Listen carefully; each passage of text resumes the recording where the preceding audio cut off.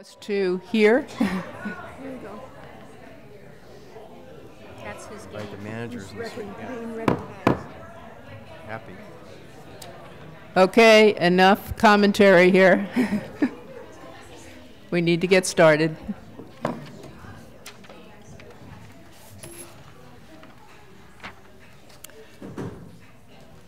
As a preliminary matter, this is the Thursday, March 23rd regular board meeting of SBCC. And we have, if you have not previously noticed this in reading the agenda, we have added the vision statement to the mission statement at the beginning of the agenda. That's the vision statement we adopted at our last meeting.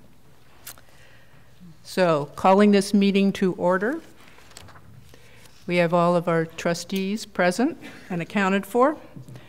Welcome to our audience, who is um, obviously interested and a little bigger than usual, and we're happy to have you. Uh, Our first item here is 2.4, which is the Administrator of the Year. And Anthony, do you want to introduce that? Yeah, let me just say a little bit about this. We, our Advancing Leadership Committee here at Santa Barbara City College annually recognizes an outstanding administrator of the year, and we have Pat English, Dan Watkins, and Marcia Wright that are going to present this item. So if they'd come down to the lectern, we can continue. I think Pat's up first. Pat is up first. Okay. Good afternoon, members of the board and President Beebe. It's nice to see you all. Beginning in 2013, the management group of Santa Barbara City College, which is now known as the Advancing Leadership Committee, began recognizing the outstanding administrator of the year. The primary purpose of this award is to honor colleagues who demonstrate excellence in their administrative role at SBCC and who are exemplary role models for all administrators and employees. Nominees must meet several eligibility criteria, such as having a current satisfactory evaluation on file and be current in their own staff evaluations. They also must be a participant in the Management Professional Growth Program. This year, we received 10 nominations, but only seven met these eligibility requirements. There are 51 members of the ALC, and we had 43 votes gathered, so that's pretty darn good participation. Although the nominations may be made by any permanent employee, the winners are determined by a vote limited to the management group only. This recognition is very special because it comes from our peers. Previous winners include Marcia Wright, who's behind me. She was the winner the first year in 2013. I was honored in 2014. Dan Watkins was honored in 2015. And Karen Sophia, who retired last year, won last year. Once again this year, we owe a debt of gratitude to the SBCC Foundation for generously underwriting the cash awards that are associated with this recognition. So if there aren't any questions about the program itself, we can proceed to announce the results of the vote. Do you have any questions about the program? So to keep you in suspense, we're going to start with the honorable mentions. Marcia, did you have a question? No, I think no one has a question. Okay, We're in, sus- we are, except we for are in, one. we're in suspense. Okay, good, good, okay.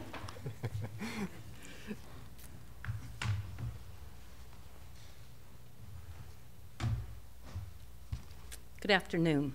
It's an honor to be here to recognize two of my outstanding peers that I really admire and truly enjoy working with. The first, this nomination for this outstanding Administrator of the Year 2017 Honorable Mention Award winner was supported by 10 individuals. This individual is described as a passionate believer in the mission of the college, able to advocate for the needs of the department while balancing college wide budgetary concerns. The great sense of humor and positive spirit during challenging times brings out the best in everyone. This person is accessible, accommodating, fair, and responsive, and their leadership style keeps department morale extremely high.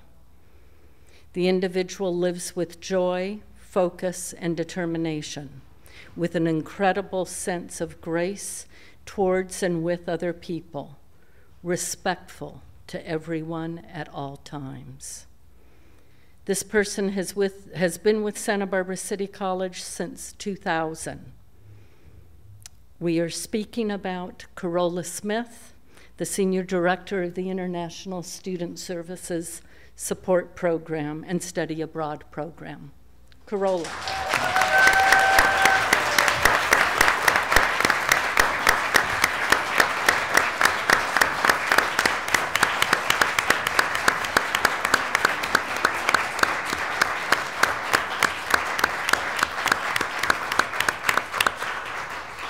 Well, thank you very much for this unexpected honor. It has been such an honor to work at Santa Barbara City College. I'm a former international student. It's from Santa Barbara City College, and I'm really honored. I know who the other nominees are, are and I know that all of them are really deserving. So thank you.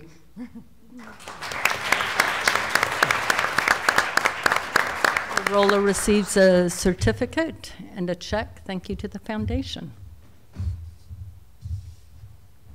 The second honorable mention that I'm going to speak about, I'm extremely passionate about, and personally have nominated this individual. Described as a truly inspirational leader, provides the highest quality of support, professionalism, and a can do spirit. Always the first to give credit to and empower others sensitive, compassionate, a true collaborator, 100% committed to SBCC. He leads staff with passion and commitment. There's a drive to continually improve upon processes to serve students in the best possible way. Understands the mission of the college and whatever is undertaken is done with passion and commitment by him and his staff. This individual has been employed by Santa Barbara City College again since 2000, just babies in my eyes. Starting out as a staff member before being promoted into management in 2005. Prior to 2000, he was a student here at Santa Barbara City College. Noteworthy, he also met his wife here. Congratulations to my friend and colleague, Jason Walker.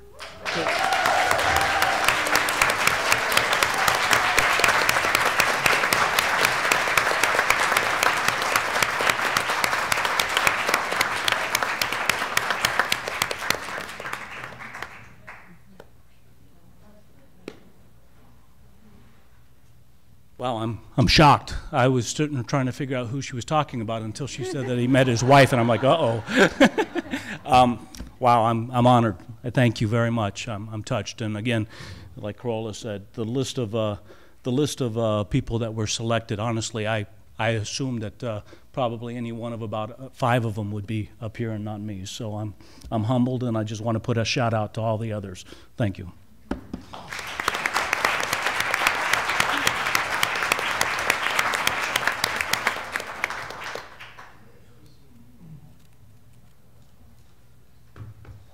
Good afternoon, board members. It's my turn to announce two of our honorable our honorable nominees.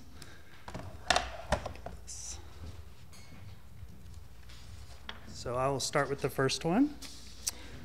This individual was nominated by two colleagues. Some of the terms used to describe this manager include skillful communicator, creative ideas, conflict resolution, trustworthiness, innovative, sense of humor, honesty, integrity, worthy of respect. This individual has served SBCC for more than eight years in a leadership capacity, having been involved in numerous college committees and also performing a great deal of work behind the scenes for the college. This individual is in the unsung hero category among us. Going forward, this individual will likely be forced out from behind the scenes as he is been named the Chief Information Security Officer for SBCC. Congratulations to Jim Clark, Director of Information Technology User Services, for being named an Outstanding Administrator Honorable Mention Award winner.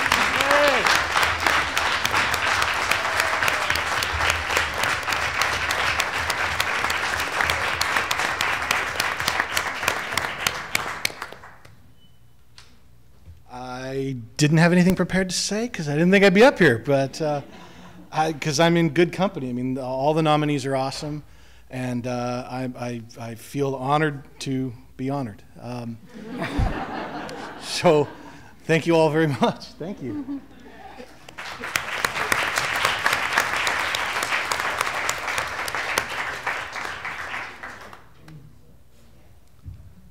Okay, and the next, the next person we have, and it's our last honorable nominee before we get to the big reveal. Uh, we received nomination information for the next Outstanding Administrator of the Year 2017 Honorable Mention Award winner from eight separate individuals who work closely with this person. I'd like to share the few of the statements that we received. No administrator has worked harder and deserves this award, award more.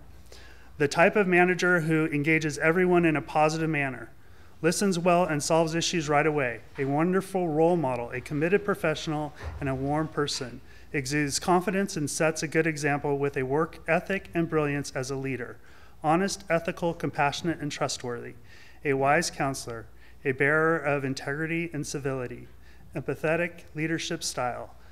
Working with this person has been a gift. Also, an eight year veteran of SBCC, congratulations to the Educational Programs Dean, Melissa Moreno.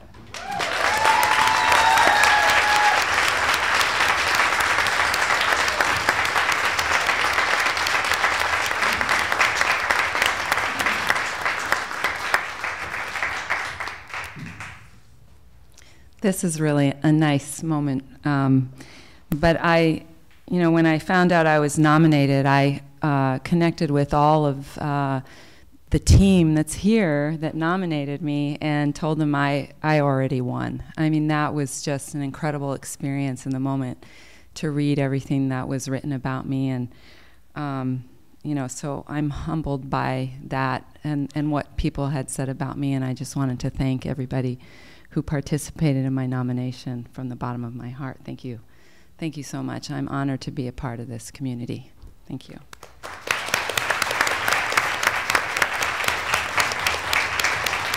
Thank you.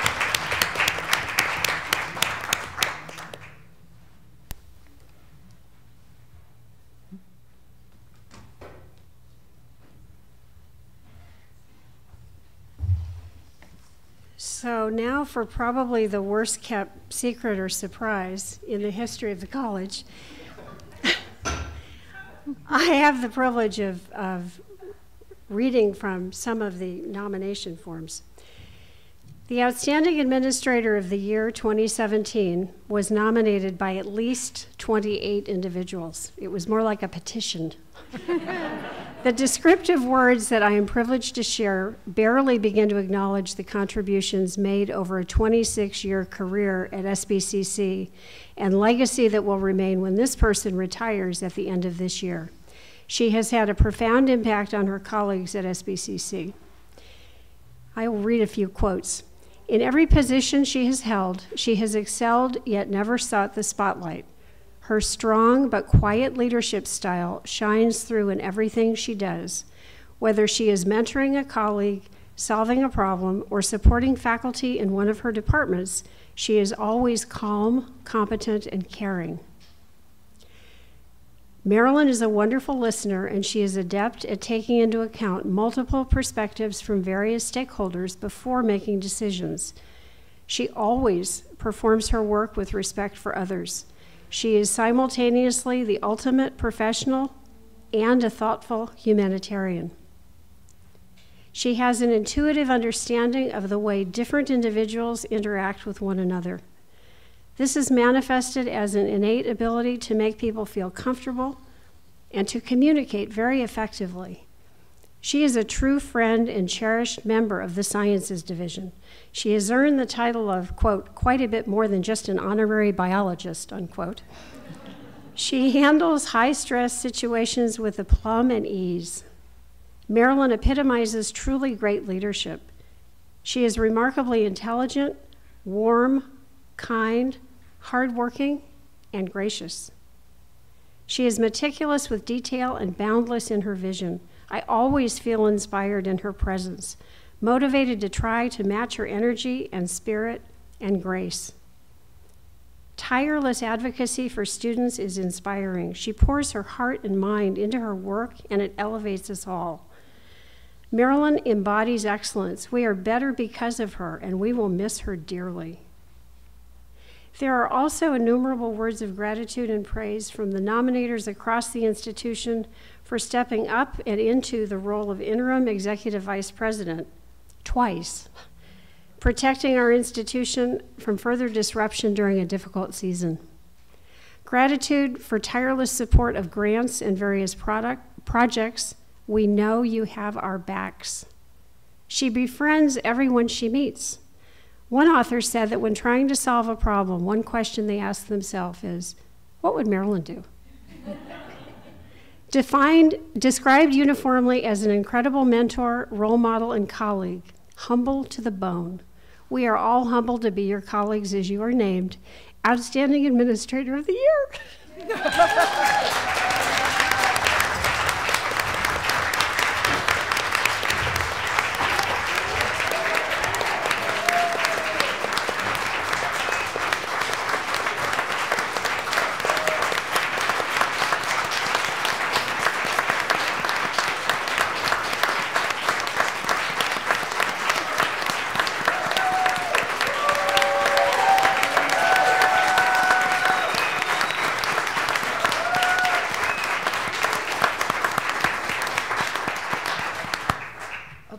anybody who knows me, and some of you are out there, know how embarrassed I am by attention.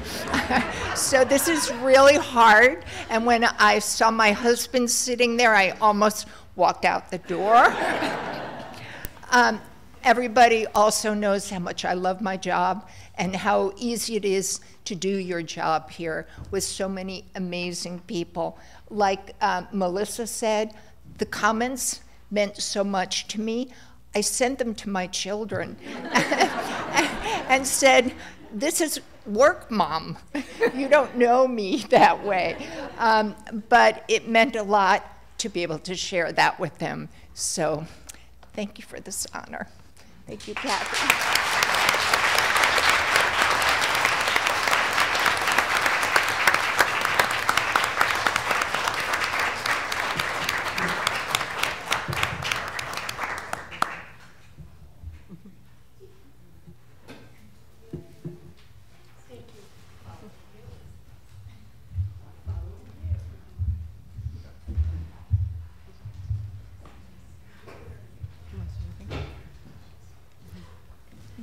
So that was, uh, that was really wonderful, very touching.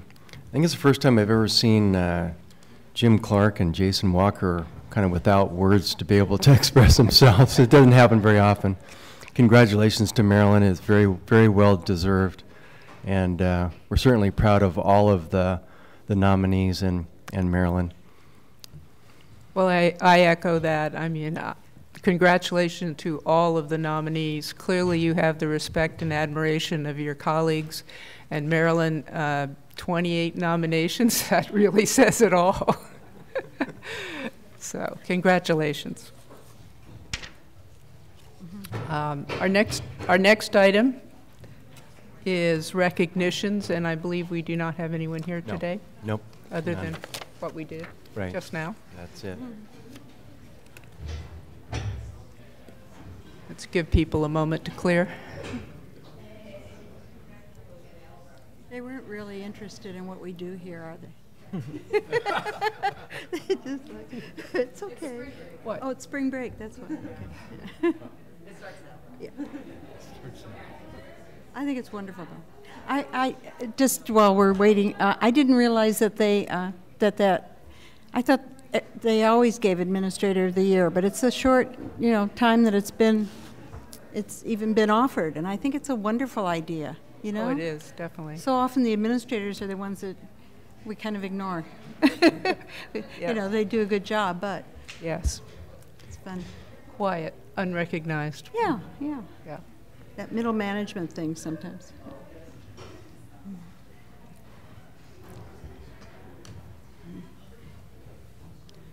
Okay, moving on to 3.1, minutes of the regular meeting of February 23rd, 2017. May I have a motion to approve the minutes? Jonathan? Second? Greg? And any comments? Mar- Marty? I just, I just wanted to comment, uh, I really like the new format with the bullet points. I don't know why it makes it so much easier to read, but it really does, and so much clearer too, so thank you for doing that. Well, you have Angie to thank for that. Yeah. She worked that through, That's good, thanks. so. I do have two corrections. Oh. I didn't see them. I was looking at the bullet points. On um, page two, under uh, 5.4, report from superintendent, the last sentence, I'm deleting other, the S after discussions, and also to correct that sentence to make it read a little easier. Okay. And then the other one is on page four. The second sentence should be followed rather than follow. All right, those are my corrections. Okay. With those corrections, uh, Jonathan, you're okay. Craig, you're okay. Um, All in favor? Aye. Opposed? Minutes have passed. Okay, now uh, we go to public comment. We have um, one slip with two names uh, who uh, want to speak to us in the public comment time period, and that's Sophia Stefan Stefanovic. Vic, I'm really not doing a good job there, and Love, hmm. Lauren? Is it Lauren Russ? One of you needs to be a uh, doctor to write prescriptions.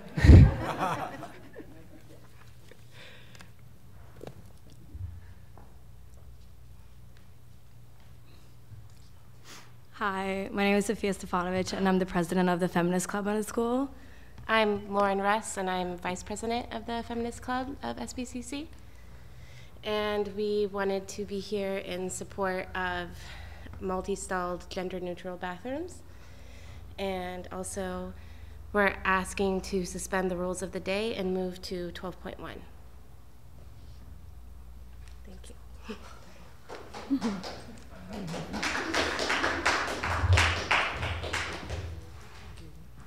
It's up to you if you want.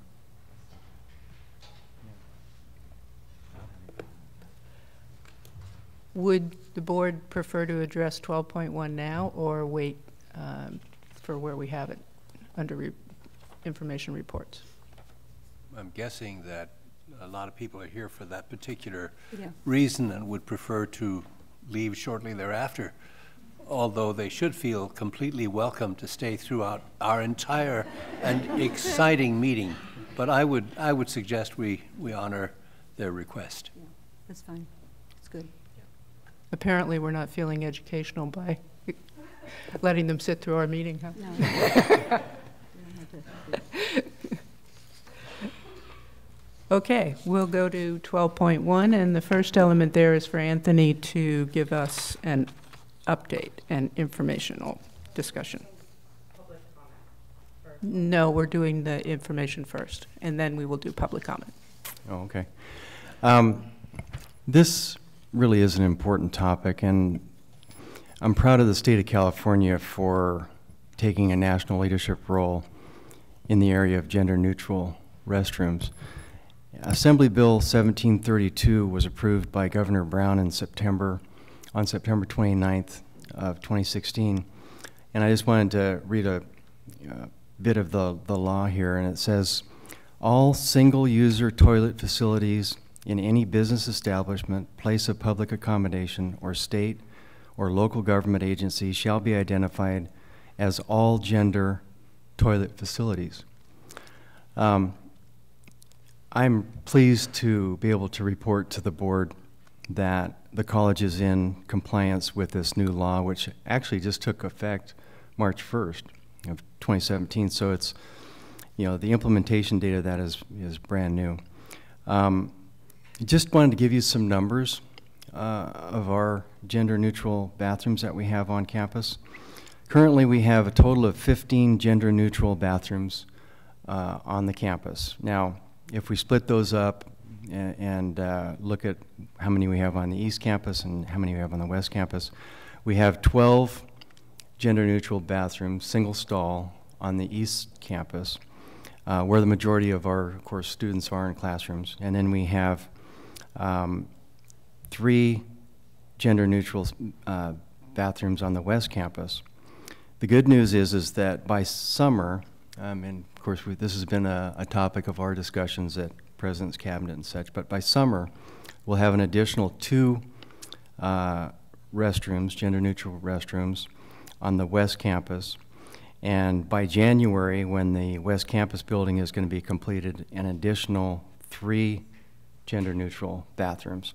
This will bring us to a total of 20 gender neutral bathrooms, um, single stall bathrooms in, on the entire college campus, which is significant.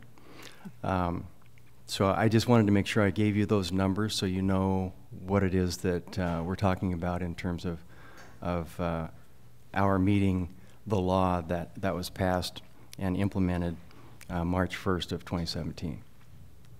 And um, just to make sure people understand, the law applies to the single stall bathrooms, and that's what we are talking about with the 20 single stall bathrooms. That's correct. That's okay. correct. All right. Um, now we can go to public comment. And I have um, Ainsley Meyer.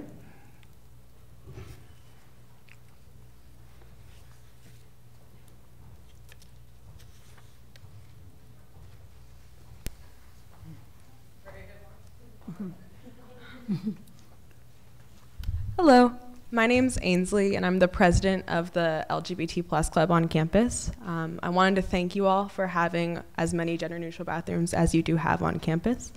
Um, we really do appreciate that, but we're not asking for single stall restrooms. We want to see more multi stall gender neutral bathrooms on campus. Um, having gender neutral multi stall bathrooms on campus sends a message to our community and as a community college, I believe that it's our job to set an example. Um, when you have multi-stall gender-neutral bathrooms and you're not making students who identify as trans or don't feel comfortable going into gendered bathrooms, when you make them walk to different separate restrooms, that's not equal and that's not inclusive. I have a couple letters here that some students wrote, and I'm going to read them to you. Okay.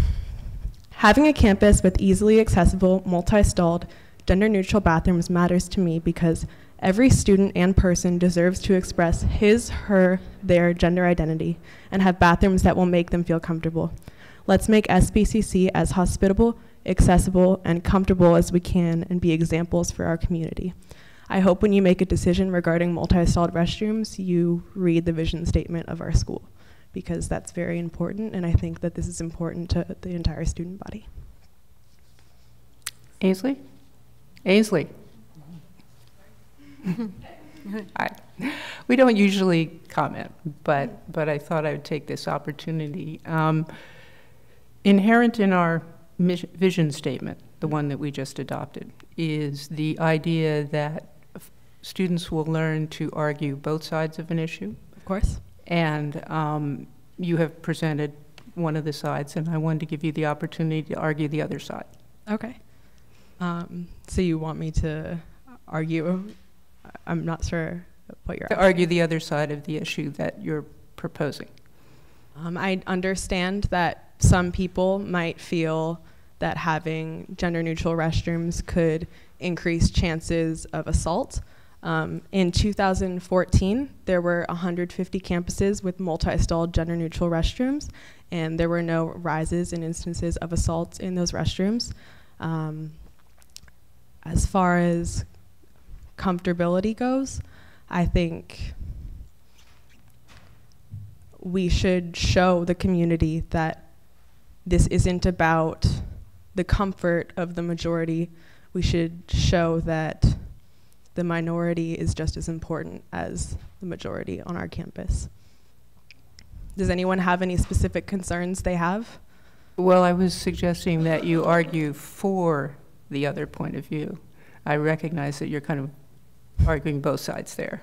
Mhm. Um, If you were of the other opinion, what would be your argument?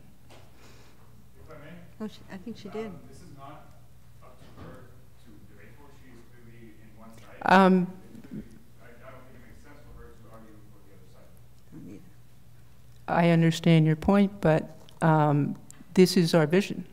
Our vision is that students will learn to argue both sides, and I wonder, give her the opportunity to do this. If you don't want to do that, that's okay.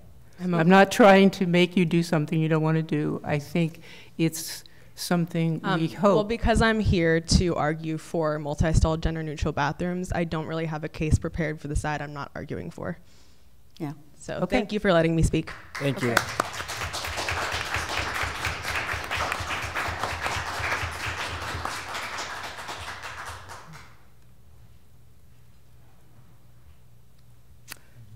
Okay, Evelyn Friedman.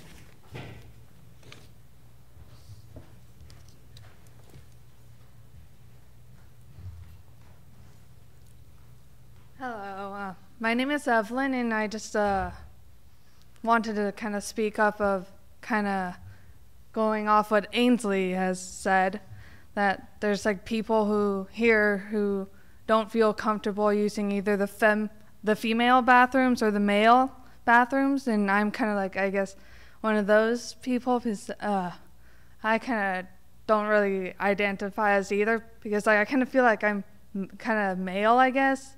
Sometimes, and other days I feel like I'm more feminine and kind of don't really know what bathrooms I should use. But since like my gender, like my the gender that I was born with is female, so I just would probably have to use the female bathroom. And I just like don't feel comfortable just going into the female bathrooms.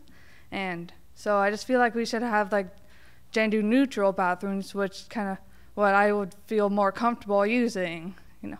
And just wanted to kind of speak up for that. Thank you. Thank you. Thank you, Evelyn. Ma- I know. Um, Max Pagano.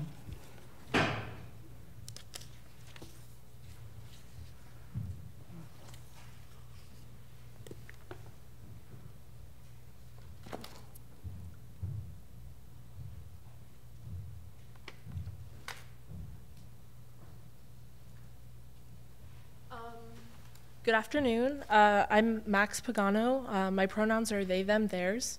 Um, I identify as agender, which means no gender at all. I'm not a man, I'm not a woman. And um, so, for me personally, this issue of gender neutral bathrooms is not about my comfort, it's about my safety. I feel unsafe using the gendered bathrooms anywhere because the fact is that trans people risk harassment going not only just existing in the world, but um, especially going into such a strictly gendered space like a bathroom. Um, so I, um, I would, yeah, I would feel, it's not really that I would feel more comfortable using a multi-stall gender neutral restroom, but I would feel safe. Um, Dos Pueblos High School currently has a multi-stall gender-neutral restroom that um, was implemented last spring, and um, they haven't had problems that um, were. I haven't heard of any problems. Um, um, and yeah. Uh, so gender neutral restrooms that are multi-stall are achievable for our school um, and um, sorry i keep losing my train of thought. Um, the and although it's really impressive the number of single stall gender neutral restrooms we have it's important to note that um, at least seven of those, I think, are in one building on campus, the humanities building, um, which is really great, but that's on the furthest side of campus, and none of the other restrooms are so like clearly marked and clearly accessible that I didn't even know there were any other ones until last week on the entire campus. So even the ones that, and the only other ones that I am aware where they are, are in the library. And for that one, it's still not incredibly clear, and you have to go through a door that says staff only, um, which causes a lot of confusion. Um, so, yeah, I think that more gender neutral bath- bathrooms that are spread out um, among all the buildings on campus is vital um, because it just it's not fair to expect not only students like myself but um, other people who can benefit from gender neutral bathrooms like people with children who are different genders from them or um, people with disabilities who have caretakers that are different genders than them um, can also benefit from multi-stall gender neutral bathrooms so that's why Thank you. Okay, Anthony?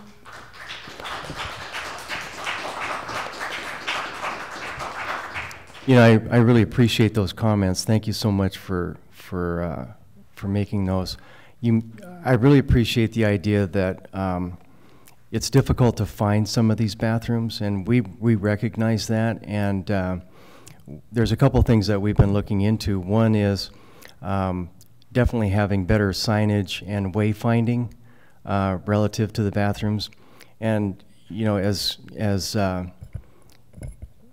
different as this may uh, sound, we're also looking into the idea of an app to be able to find bathrooms so that, you know, yeah, so that to make it easier in terms of wayfinding and those kinds of things. So there's there's a couple things that, to your point, um, that I think we can do better relative to to those kinds of things. So, so we're we're working to try to, to help with what you're talking about relative to trying to find them. Okay, David Pan Panbecci.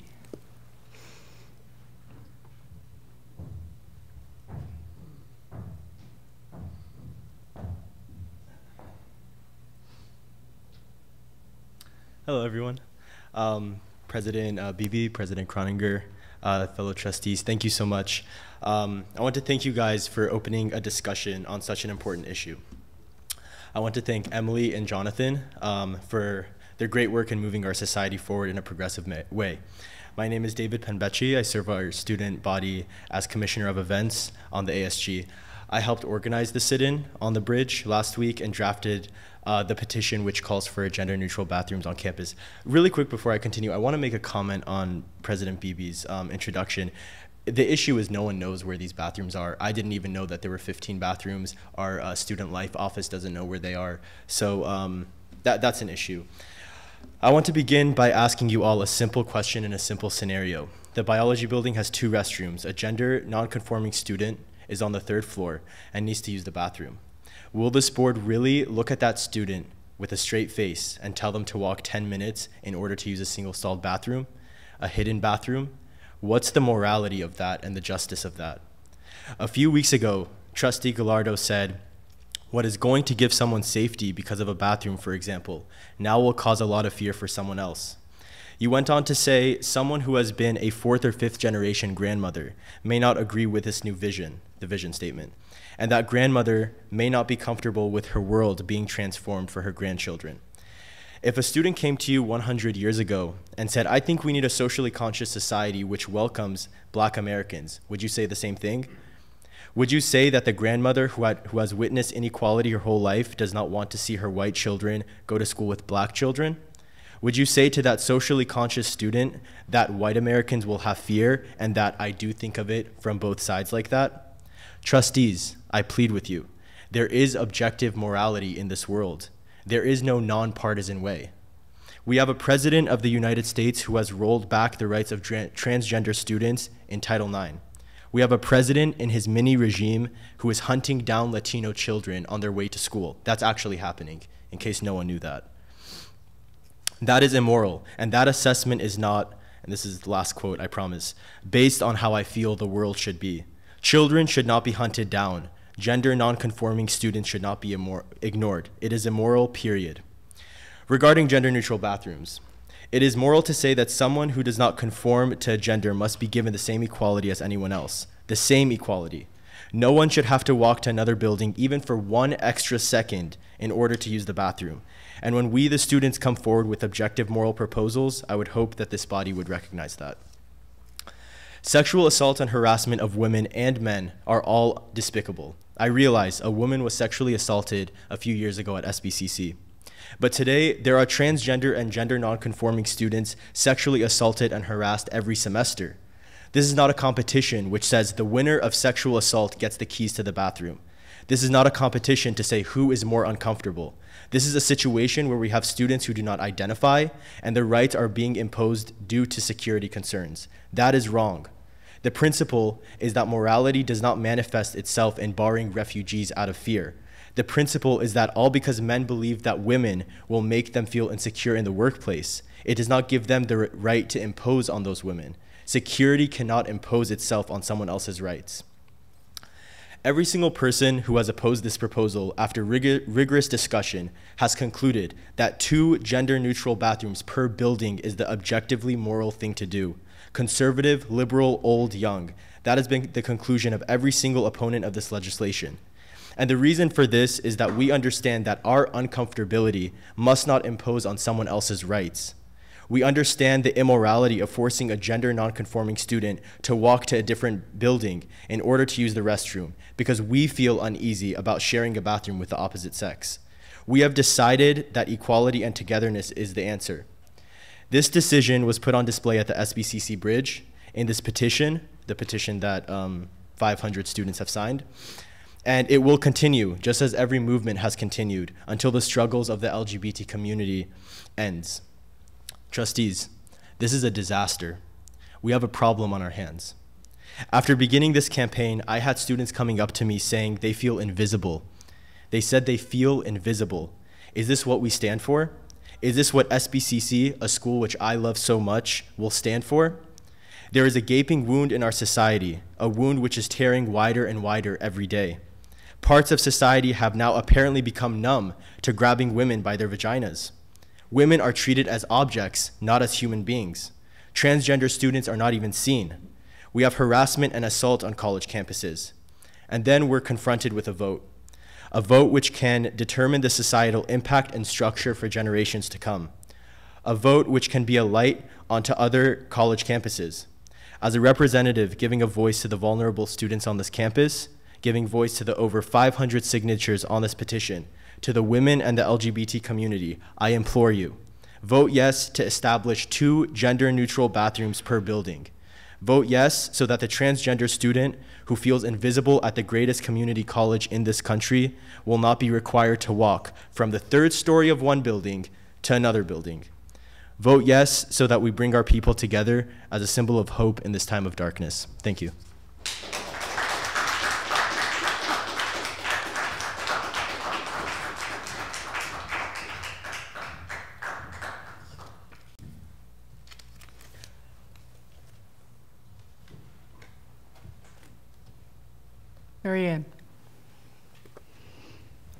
By the way, this is an informational item. It's not even noticed for discussion, so uh, we'll limit our I'd, further I'd like to talk with the students for a minute, with your permission. Sure. Um, uh, This is not about the issue per se. I've been enormously impressed with the uh, amount of work you've done, and I am not questioning whether you are right or wrong. But I do want to say one thing about the presentations. As somebody who's been around a long, long time and been on both sides of a lot of really tough issues, if you want to succeed in general on an issue that is very emotional, especially if it's emotional for you, as it is in this case, obviously, by your really excellent presentations, one of the first things you need to do, and I believe that is why our president asked what she asked, is to be expert on the other side. You need to know what those students who would disagree with you would say and how they would feel. That doesn't mean you need to represent them, but you need to be sure you know them. Now, maybe you do, but that didn't come across in the presentations. So I'm just mentioning to you, and this has nothing directly to do with the issue you're talking about, because I have said the same thing to many other students, presenting many other issues they really cared about.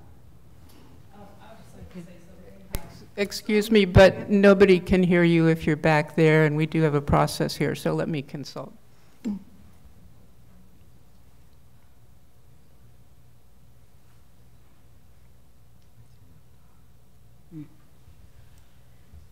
Um, If someone, hmm?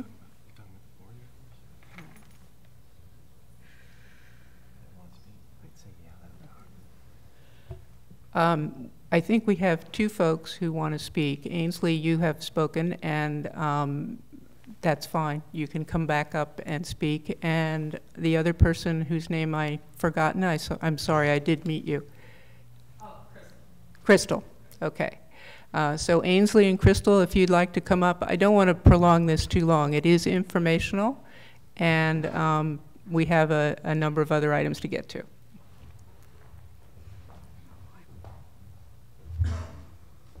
Hello again.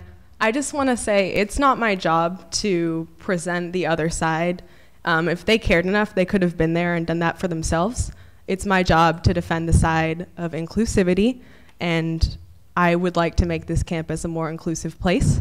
And having multi stalled, gender neutral restrooms shows the campus that it doesn't matter what your gender expression is, it matters that you're here to learn. And I checked the vision statement, and I would like you to cite the part that says I need to um, defend the opposite side of the opinion that I am defending. The statement does not say that. It's inherent in the statement and in the discussion that we have had about it. I think if you might want to reread Dr. Beebe's waypoint on the vision statement. I, can um, you cite something though? Yes, Dr. Beebe's waypoint on the vision statement and the process that led up to it. But I don't want to get into a debate. I mean, I think, as Marianne said, I agree, and thank you, Marianne, that it's important to understand all viewpoints. Of course, that's what we're trying to get to. Yeah, but we and already know what, where you stand with this. We've heard quotes from things that you've said regarding this, and I don't think it's very fair for you to make us stand up here and defend a side that doesn't care about the rights of my community. Yes. With your permission. Okay. Just briefly, I I think the point here that I think you're missing a little bit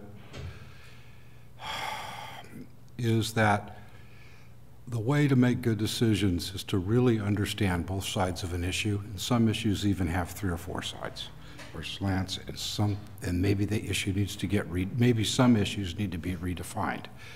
But what we didn't see, myself included, and I'm not going to piggyback on, I, I, I thought Marianne made an excellent statement some really great advice. What didn't come through to me is a feeling that um, that you really maybe understood the other side and why they feel that way. Um, it's none of these decisions are really easy, are really easy for anybody necessarily, and it, it is difficult to to make or it's easy to make some statements, but it's difficult to really justify those statements unless you can understand the whole issue. Um, I do commend you for coming and speaking and, and uh, being involved and, and going about it in a proper way. Um, I would have liked to, to have felt something that didn't come through. Now I feel like a coach on uh, The Voice or something. That Before I leave, watches. I just want to say, as an LGBT person, I'm tired of explaining to people that are not part of the LGBT community.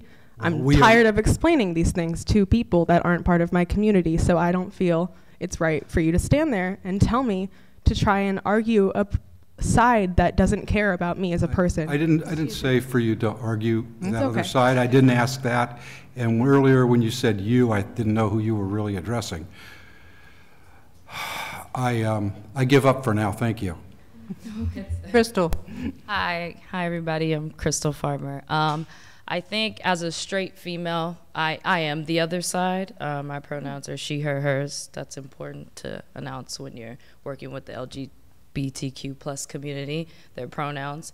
Um, from the other side, I was very misinformed. Um, I was not for gender neutral bathrooms before.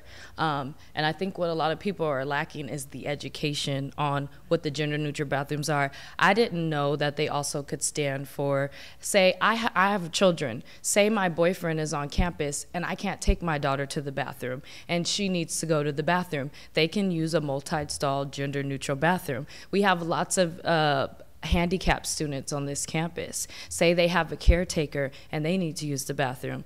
They can use a multi-stalled, gender-neutral bathroom. So I think when it comes to it, um, it's just a lot of misinformation about what these gender-neutral bathrooms can go and the, how they can be for many people from different communities. And once I was educated on the matter, I mean, I even said at the sit-in, like, wow, I feel very ignorant. I feel very stupid. I apologize because I'm sitting here thinking, oh, I'm at risk. Oh, sexual harassment. When really, there's so many situations where these multi-stall gender-neutral bathrooms could be of use. And I think that we need to look into that and stop taking an individualistic view on things and feeling so you know oppressed with certain situations and oh it's me it's about me it's about me and look at it in a structural view and how everybody that it can better with these multi-stall gender neutral bathrooms.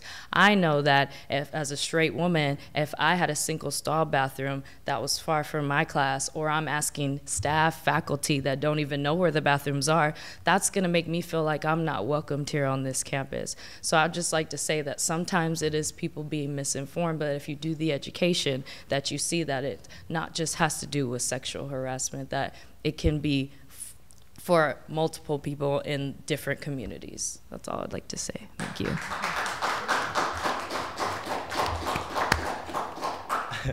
I hate to be rude, but it seems like some of you haven't didn't hear my speech. That was my speech. My speech was both sides.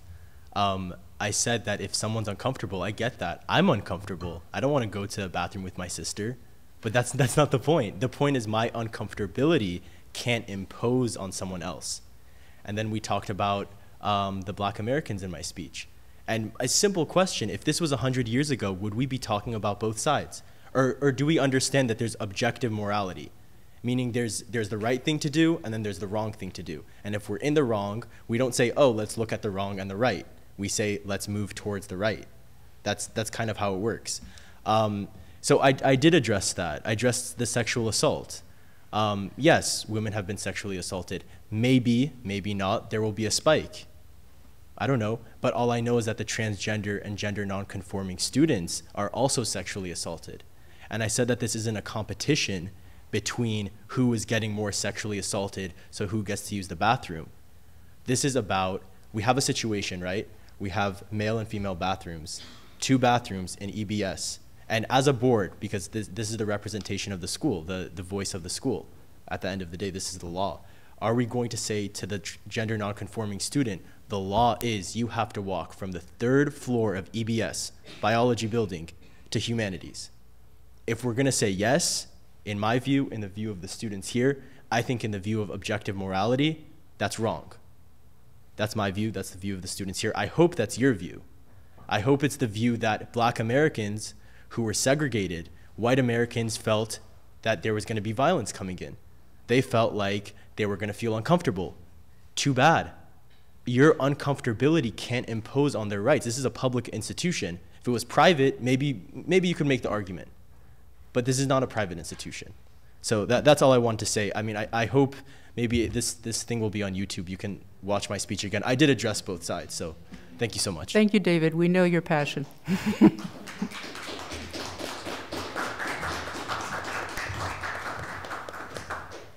Emily.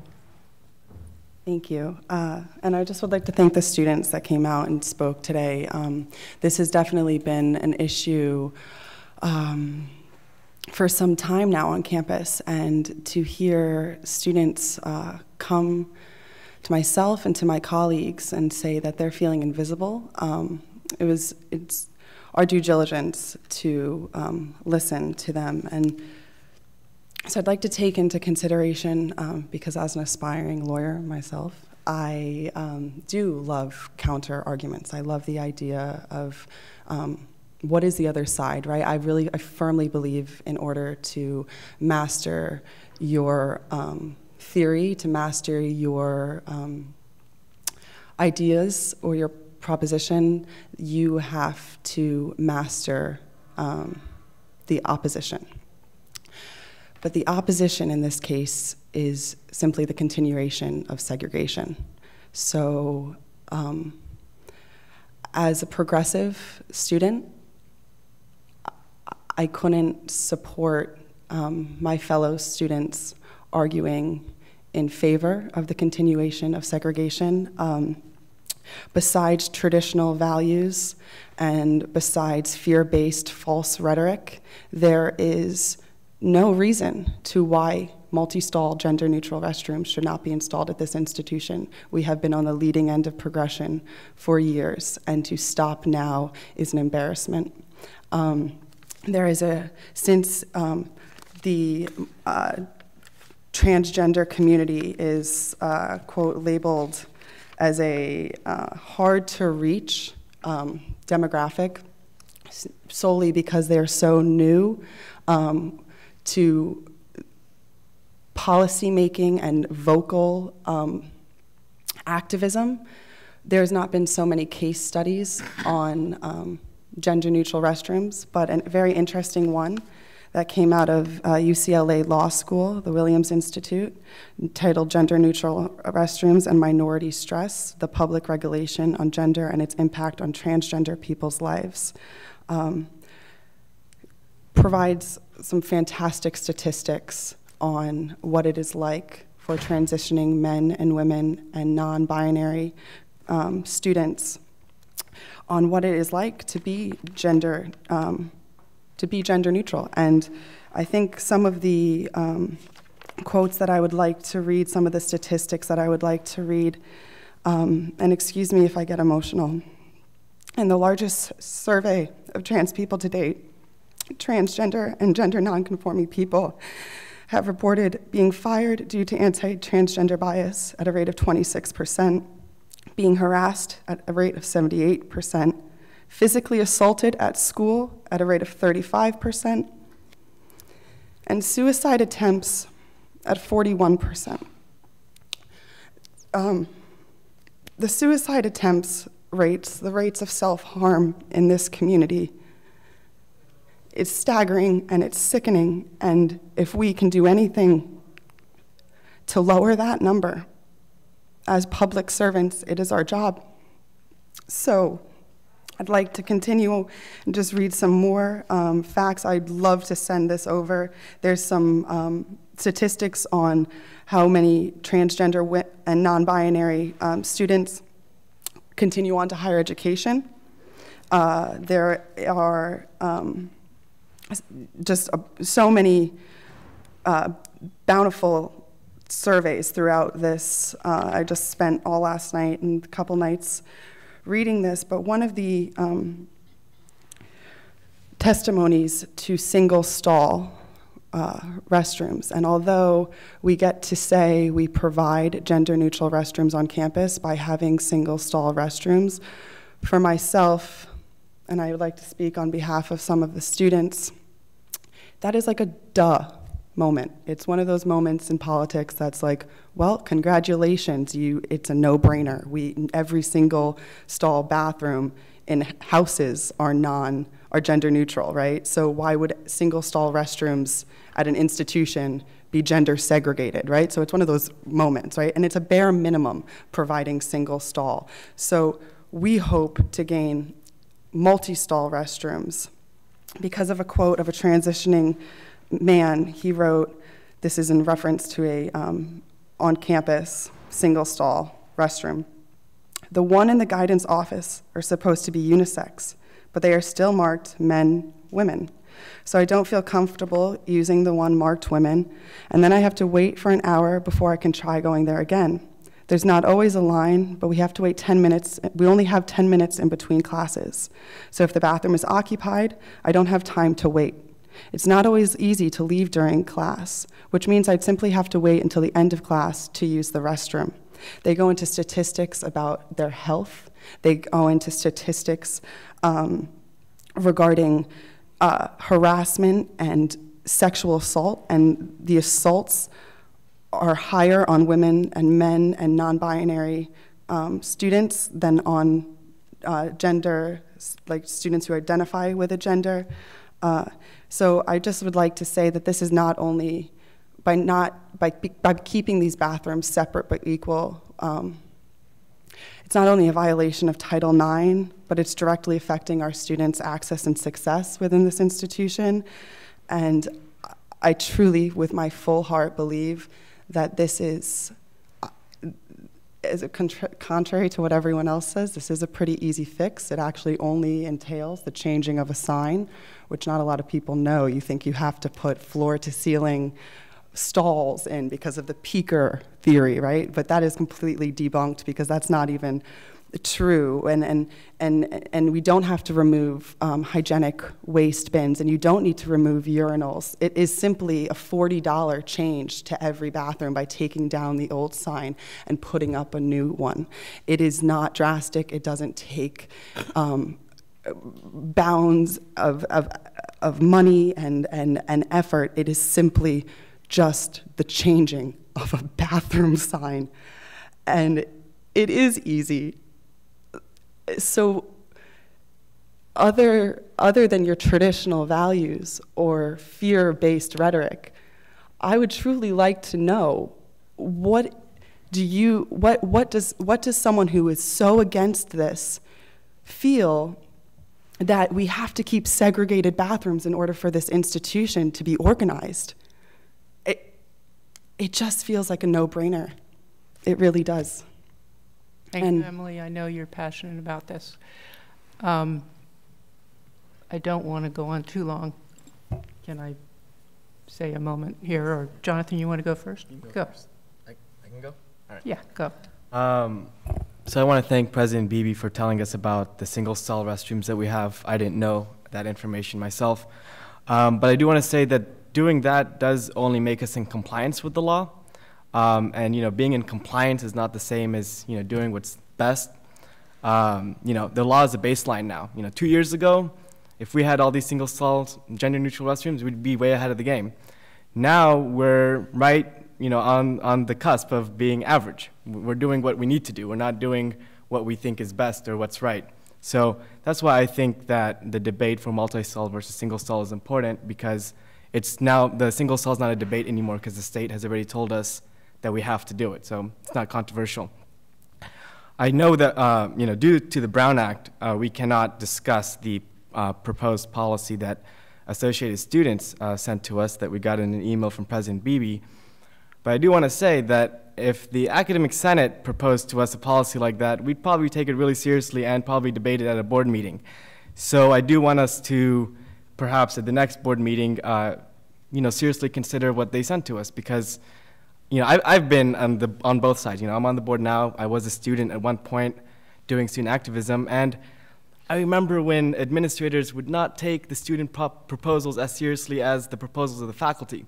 And I think at a, you know, at a public university, we should be espousing the values of shared governance as much as possible, even if, you know, the rules don't say we exactly have to take any proposal AS makes and consider it. So I think that the fact that they went and you know, went through the formal process of writing a policy change that is something that we can, we're the main interacting body that would make a decision. I think we should give them the, you know, the respect of discussing the policy they sent to us. So I would like to see that happen uh, personally. Um, I'm, I'll save my comments about how I feel about multi-cell restrooms until then because that's not what's agendized, but I will say that I strongly support it. Thank you. Peter. It, it seems to me, well, first, it, I hope you don't, and I'm addressing the students, take the view that uh, we're automatically opposed to anything that you say, because that's not the case. Uh, it seems to me we have a problem. We're on the cusp of a cultural change. That's very clear, not just locally, but nationally. Uh, and we have a problem, and we need to get together, work together, and solve it. And uh, Emily, you can be my lawyer anytime. um, but uh, we, we shouldn't be seeing each other as antagonists on this issue. It's, it's clearly something that ha has a sense of, well, it's, it's sensitive, um, but we, I think we, if we work together, we can get over it, and we can find a solution that doesn't cost a trillion dollars and, and uh, uh, allows, allows us to move forward in a, uh, a culturally sensitive fashion.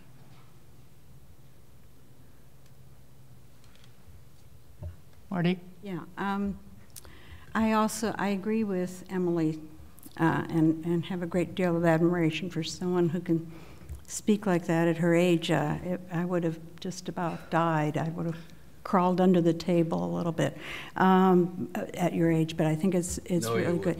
I did. You had no idea. I was a student activist too, but I like doing the background. But, um, but I do see, I think it's important to know that uh, there are several of us up here that do understand student activism, but we also understand uh, the issue maybe more than you think we do. My husband was a, a, a, doctor at the VA hospital. He had a number of patients, very interesting patients trying to figure out what to do, you know. And I think the best thing that we could do,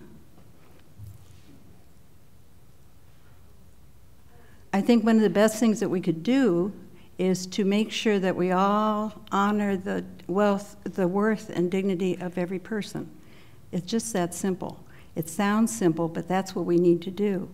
And, you know, if you saw Hidden Figures, um, that was just crazy, you know, that there were these black women put in the basement and they didn't even have a bathroom and they're running out, you know, trying to find a bathroom. Um, and they were saving NASA at the same time, you know, that these white um, scientists were taking all the credit. So there's something, you know, there was something inherently wrong then and there's something inherently wrong right now, and we can see that. But as Peter said, we need to all work on this together. We've been pulling for wayfinding signs for a long time here. You know, this is the way the this is the way the administration building is. Um, and we also need some for restrooms too, without a doubt. And our restrooms need to be, um, uh, they need to be more sensitive to everybody. And the best way to do it is just to have gender neutral bathrooms. I don't have a problem with that. What I do have a problem with is trying to figure out how to get there from here because we need, uh, we're going to need some cost. There's, it's not going to be free. I mean, I know $40 sign, I don't think is going to do it in all, all cases, although, you know, it sort of seems like it might, but the urinals and all sorts of things might. Anyway, I think it's going to cost more than that because we need to do some um, education too.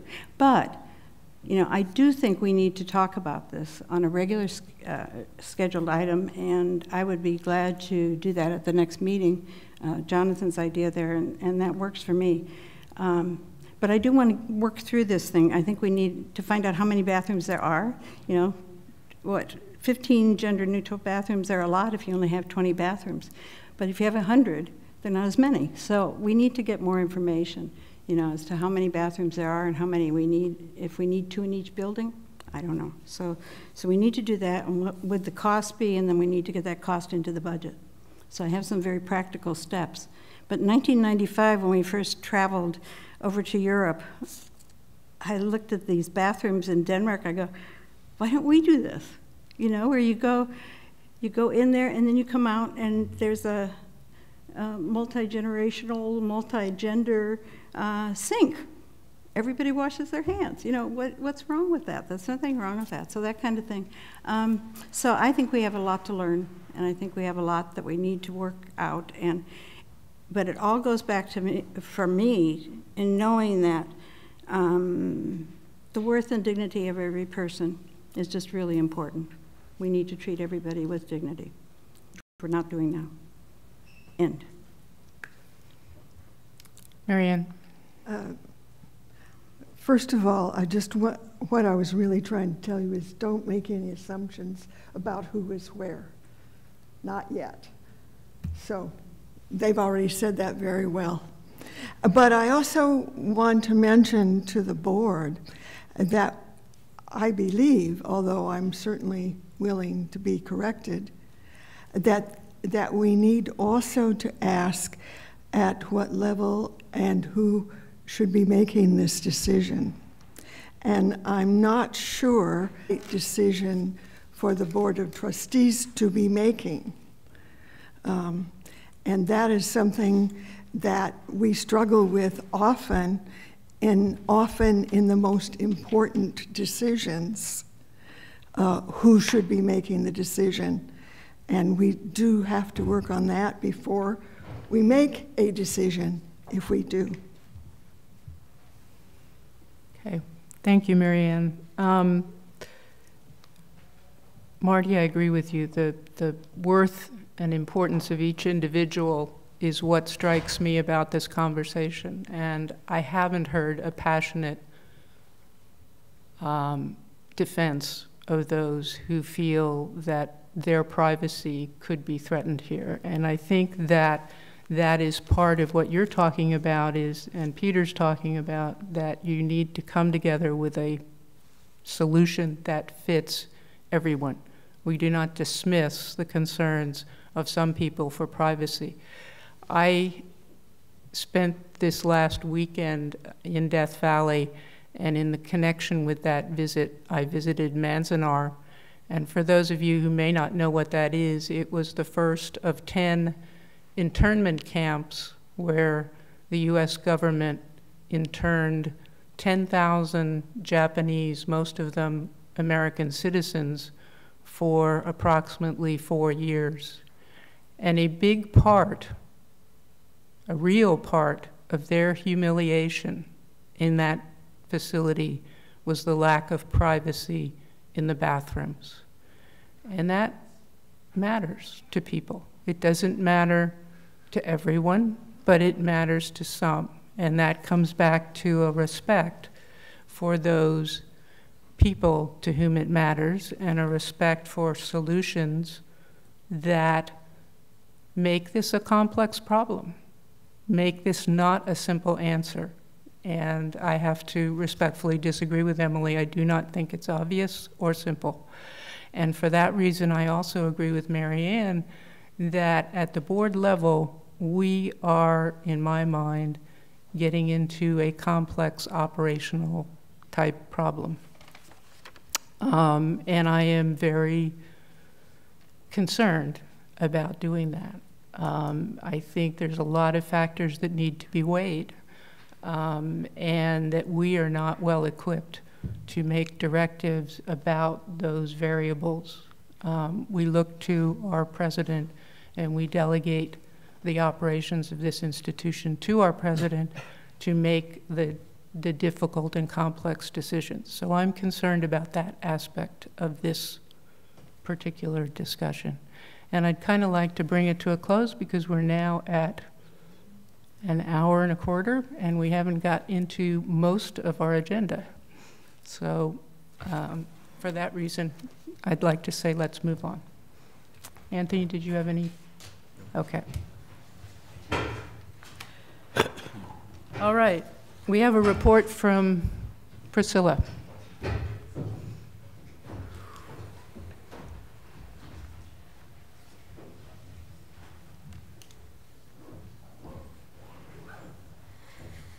Good evening, Dr. Beebe, President Croninger, and members of the board. Um, I feel like a breath needs to be taken. Is it only me? May I take a breath? Of course. Thank you. So, what I wanted to talk about today is um, the work of one of our subcommittees the Academic Senate has almost a dozen subcommittees, and we mostly talk about what the Academic Senate itself is doing, but these other committees are doing really interesting and important work. So I wanted to um, feature one of them, which is the Committee for uh, Faculty Resources, CFR. It used to be called uh, the Committee for Teaching and Learning, and there was a big discussion about the name change, re envisioning it, because what we really wanted to see was we have a Faculty Resources Center on campus, which is uh, available to assist faculty if they want to try out new pedagogy, new support, new instructional technology. It provides those resources to them, and we wanted our committee to be working more closely with the Faculty Resource Center to provide those connections. So that committee has been offering the course of the year, and a lot of work also with our Title III grant, which is working on faculty uh, advising and mentoring. And it's not the faculty who are being mentored, the, the faculty are working with uh, students in an advising capacity to provide support as they go through their um, programs. Um, but one of the things I wanted to talk about for this spring, what's happening right now, and I'm not sure if everybody is aware of it. Um, we're having a series of lectures called the Lasting Lecture Series, and it is featuring our retiring faculty. And the very first one was today at 2:30, and um, two of our faculty, and I asked their permission to mention them. So, um, two of our faculty, Oscar Zavala, who is a 30-year counselor, academic counselor, and uh, Anne Marie Kopakin, who is a vocational nursing instructor. They gave these two lectures, and um, you know, the the flyer that the committee put out, the, what they listed as the goal for these were, and it's pretty aspirational, right? Reflections on life's lessons and meaning. And I was like, wow, I'm going to understand the meaning of life. Okay, so, uh, um, but it was it was a very interesting and inspiring, and at moments profound uh, couple of speeches as we we saw um, one of them was explaining a lot about her discipline and what she does in the classroom and how she views pedagogy and relates with her students. And the other one told a story about his career and how he came to his path as a way of explaining why he became a counselor and how he sees his role as a counselor. And there were, I would say, probably about 100 faculty, staff, and students there. Um, there, there, were, there were standing ovations for both. It was really a powerful moment. And why am I mentioning those moments of celebration? Um, I think sometimes we become mired in the minutia, which seems to expand and become greater and greater and consume our attention. And at times we need to step back from that. I'm not, please don't misunderstand me, I'm not saying anything in particular is minutia, but sometimes we get focused on the details. And sometimes we need the larger picture. You know, why did we become teachers? What is it we're trying to achieve as teachers? How do we relate to our students? What do we do in our classrooms? do we still feel, feel the, the passion and desire to, to work with students in the way that they need to achieve their goals? And so, to me, these lasting lecture series are a reminder to all of us who are um, working with students about, about what it all means. So, the meaning of life, yes, certainly the meaning of our professional lives. And so I wanted to mention this because we have two more of these last le lasting lecture series. Um, the next one is on April 6th, and then the last one is on April 19th. They're both at 2.30, and they're um, reminders that go out by email about that. And, and finally, I wanted to mention something. You know, this is a new thing this year, and I think it was a great idea that the Committee on Faculty Resources put together this series of talks. Um, it's very inspiring. That's something new this year, but we've been doing something for 38 years, and that is our faculty lecture. Um, that was so interesting because I have the honor of introducing the faculty lecture this year. And I went back and I read the memoir. It was quite extensive of the very first faculty lecture, and he talked about the history of it. Um, this was originated by the Academic Senate to honor uh, faculty um, who had outstanding teaching and or service to the college. This year, we're featuring um, one of our math instructors, Pam Gunther, and she's giving a talk, and this is very soon, uh, April 5th, um, again at 2.30. This one is in the Garvin Theater. The title of her talk is Applying Neuroscience and Non-Cognitive Research in the Classroom. And many of our faculty are involved in this area. What, what are the non-cognitive factors that can influence our students' uh, retention and success in our classes? So that, I think, will prove to be a very interesting topic. So as we as we talk or don't talk about various things, I, I want to remind myself about what it is we're doing. And so um, I'd like occasional moments of celebration amidst the other conversations. Thank you. Questions, anyone? Okay, thank you, Priscilla. Oh, I'm sorry, I didn't see. Where are the um, last lectures at? Um, today, you know, I should, I apologize. I don't have the room numbers for the next two. It was in the EBS building um, the, today, so I can confirm those. And uh, Elizabeth Imhoff is the co chair of the FRC, and she sends out the reminders about that too. Yes. Okay, cool. Thank you. We did a thing like this at UCSB when I was a student. Oh, nice. And I, I loved going to them. So Very nice. This is, I'm excited. Oh, great. Thank you. Great idea. Okay, is Dylan here? I, ha I have his report. Oh, okay, Emily. Uh, I'm just going to read it as he emailed it to me. So, good afternoon, President Croninger, President Beebe, and members of the board. Thank you for the opportunity today to report on the Associated Students. Last month, I addressed the board in regards to Title IX after the Trump administration rescinded the Obama administration's interpretation of Title IX, the federal law that bans sex discrimination in federally funded schools. I'm so excited to report that this seed planted here a month ago has blossomed into a movement I am very proud of. Our student trustee, Emily, has actively pursued drafting a board policy to implement multi stall gender neutral restrooms on our campus. Our commissioner of events, David Pan- Panget, C organized a free speech event at SBCC's Bridge to raise awareness and build support for gender neutral restrooms. As of today, we have secured over 500 signatures and ongoing from SBCC students in support of gender neutral restrooms. Multi stall. With this momentum, the past Friday, the Student Senate voted unanimous, unanimously to endorse gender neutral restrooms on our campus. The Senate believes that the potential board policy could, should incorporate creating multi stall gender neutral restrooms in each building on campus, prioritizing gender neutral restrooms in terms of accessibility to disabled students, and establishing a deadline for implementation by the end of 2017. We continue to encourage the board to act on the, its commitment to the to, it, it's made to the LBGT students in Resolution 17 and to pass a board policy that will allow all students, regardless of their gender identity, to feel comfortable and safe using the rest, restrooms here at Santa Barbara City College. The ASG has also been busy with preparations for upcoming elections to elect officers for the next semester. We really want to engage the entire student body in our electoral process. So, in addition to a campaign to get as many qualified candidates as possible, we're working with the channels to organize formal candidate debates next month, at which the ASG candidates will debate the best way to advocate for and represent our students. Thank you so much for your time. Best, Dylan. There you go. Okay. Uh, Liz.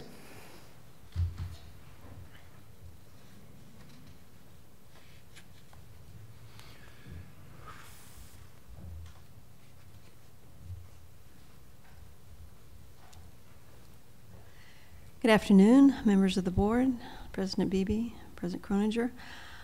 I wanted to start out by, um, you know, we all had a power outage yesterday. And I wanted to thank Dr. Beebe for his quick and decisive decision to close the campus. And he may not realize it, but in the past, when things like this happened, classified were always still required to stay. You know, and even though this college was sometimes without power for several days, the classified still were reporting. So I was very pleased that he was all inclusive and included everyone and not just the fa faculty and students the way it has been many times in the past. And I only know this because I've been here a long time, so it's been a while since that's happened, but I do, do appreciate the fact that he was all inclusive for everybody. So staff didn't have to try to work in the dark, and which has happened. Um, and plus with electric lines. Also, I think I was told one of the groundsmen was there when it happened, and he actually diverted traffic so that the cars would not run into the power line. That was, if you saw it on the news, it was just sparking and everything. we were in the middle of our meeting yesterday when we real, when we were got the emails that um, we could leave. So we continued. Luckily, the electric locks work, so we could get into the room we were going to use. Um, but we've discussed the uh, IT reorganization, which is quite extensive. So that's generated. We haven't gotten into negotiations with CSEA yet, but we have talked about that. And we spent a lot of time talking about the um, Public Records Act. We had someone come from the lawyer's office to CPC, and so I relayed that information. And everybody was really interested in getting that information about, you know, when you might have to turn over your private device. Um, and, and we also talked about the BRAC committee, which is the new uh, budget resource committee that meets for the first time tomorrow. And then I, will, I added to the agenda being alerted that there were issues with the uh, transgender. So I put on the agenda the gender neutral bathrooms because one of the speakers talked about education. I think that's really important to start the discussion. We didn't come, there was no pro or con side. It was just the fact that it's out there, you know, it's happening, and people need to have a discussion because we all work here, we all use the facilities. So you need to educate so everybody understands how it's going to work, what's going to happen. And a lot of people in the classified staff don't know where all this single stall restrooms is. I know where a few of them are because some of them are kind of very kind of hard to find, but I think a map will really help. So I think that the discussion needs to happen and we need to work through the issues and I don't know who will make the decision in the long run, but I think it's an issue that needs to have a full discussion with all the parties involved, which is all of us. So I just want to let you know that, you know, we're not trying to pretend it doesn't happen. We just we just want to get it out there and have a full discussion about it so everybody knows and all, all the views. There are some that are for, some against, some need education to see how it would work. So I just want to let you know we were talking about it. And to thank Dr. Beebe for thinking of all of us. Any questions? Just a comment. I, I, I want to join with you in, in uh, complimenting uh, Dr. Beebe in closing the campus. It's an easy thing to think, do I do this? Or yeah, maybe not. I mean, I mean, who could get hurt? And well, no. I think he made the right call, and I'm I'm I'm delighted that no one was hurt. I mean, that that would have been terrible had he made a different a different decision and someone would have gotten hurt. And I'm equally delighted that the uh, superintendent president is uh, aware that the safety of classified folks uh, matters.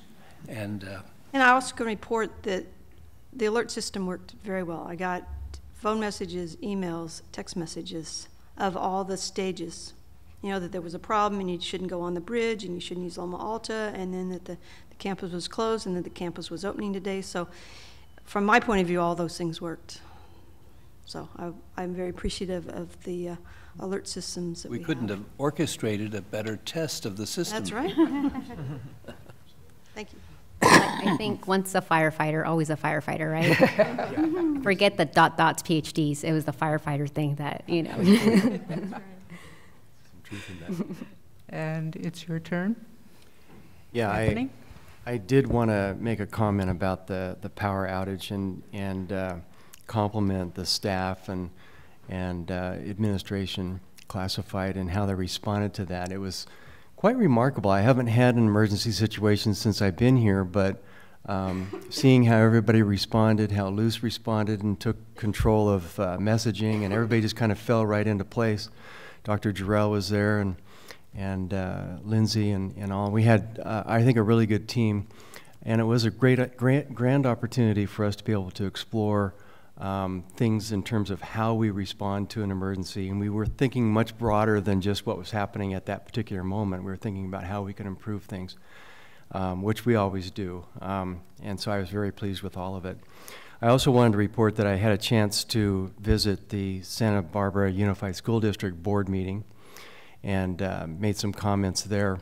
Um, was very well received.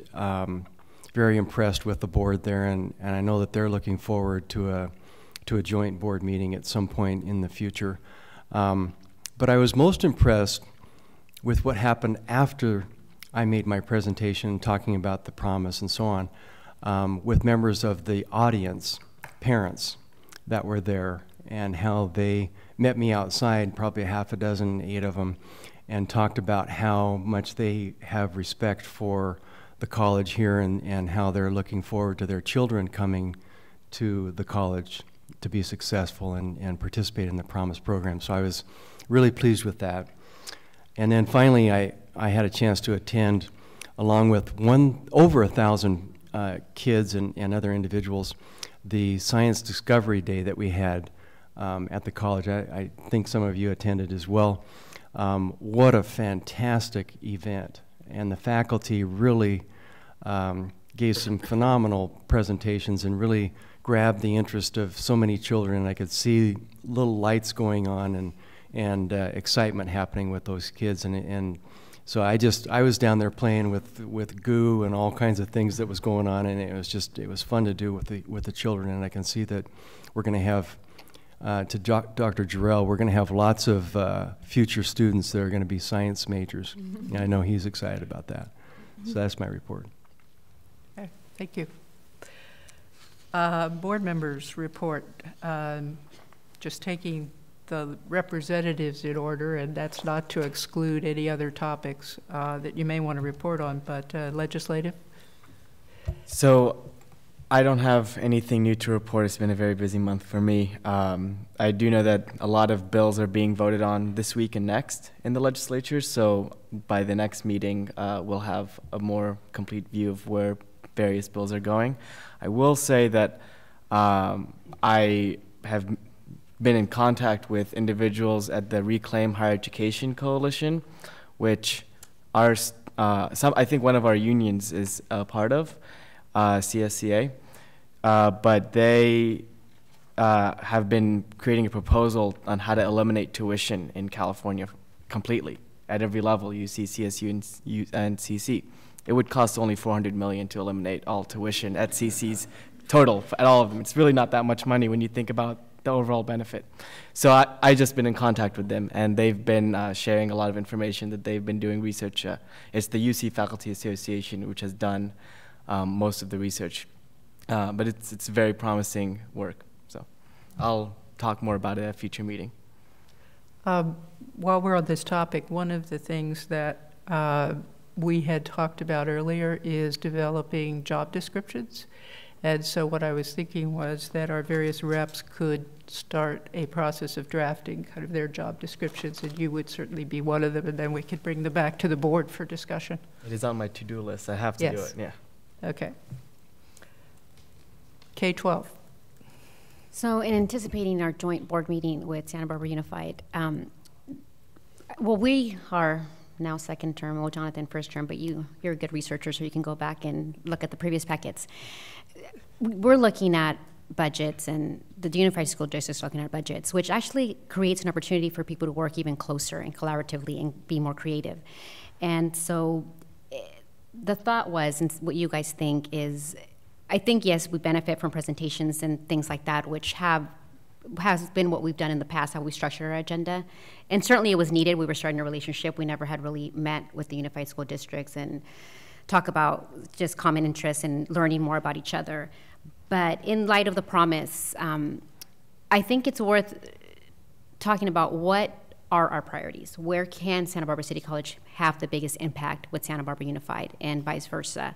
Um, we have we had a number of initiatives, and we had the Get Focus. We actually we still have the freshman seminar in our high schools, um, and I don't know if maybe that's something that you know, Marianne, our dual enrollment coordinators are amazing, and, and I, have seen them, you know, and incidentally just at different events. But maybe if we could get an update as to where we're at with that, um, and seeing what that looks like now in our high schools because now they have academies and so now the freshmen that course is taking on a new form because of VADA and, and the Apple Academy and the Engineering Academy. And um, I think the thinking is that we would have more of a conversation on fewer items versus a series of presentations. And I don't know what you guys feel about that but you know you get th- that many people together in one room I feel like we should act on something and move forward with things. Um, and, and as board members, I mean, I think that if we do send literature to the Santa Barbara Unified Board and vice versa, and we have to do our due diligence, we get board packets, we have to study them. Um, we have what's been on our, uh, what's our previous meetings are online. Angie has archived everything for us. Uh, so I think that, Marsha, as you work with Dr. Beebe to set that agenda, um, either if Dr. Beebe would set up a time where maybe Marianne and I can meet and with our dual enrollment coordinators and maybe see what's going on in that end, and then we can kind of connect and just draft an agenda that's going to help us get some depth versus just stuff. What do you guys and, think? And I would suggest that you be involved in working through that agenda. Yeah, that makes sense to me. Mm -hmm. Yeah, I, I think it's it's a wonderful idea. I really do. I think you know, if there were a time, now's it. And we need to have some substance in, in this, this conversation. Um, new superintendent here, new superintendent there. Um, we've had, he and I have had, Mr.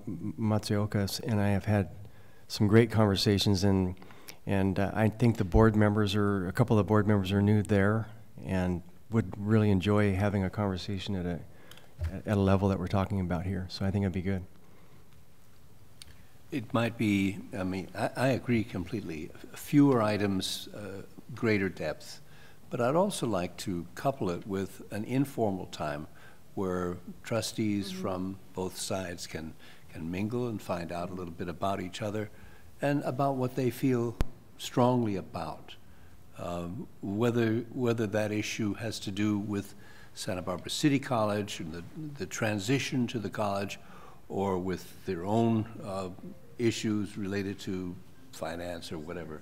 Somebody mm -hmm. playing something? Huh. Oops. Yeah, they were.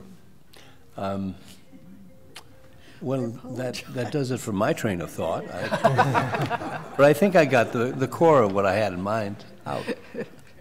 It's a new phone. I'm sorry. It's all right.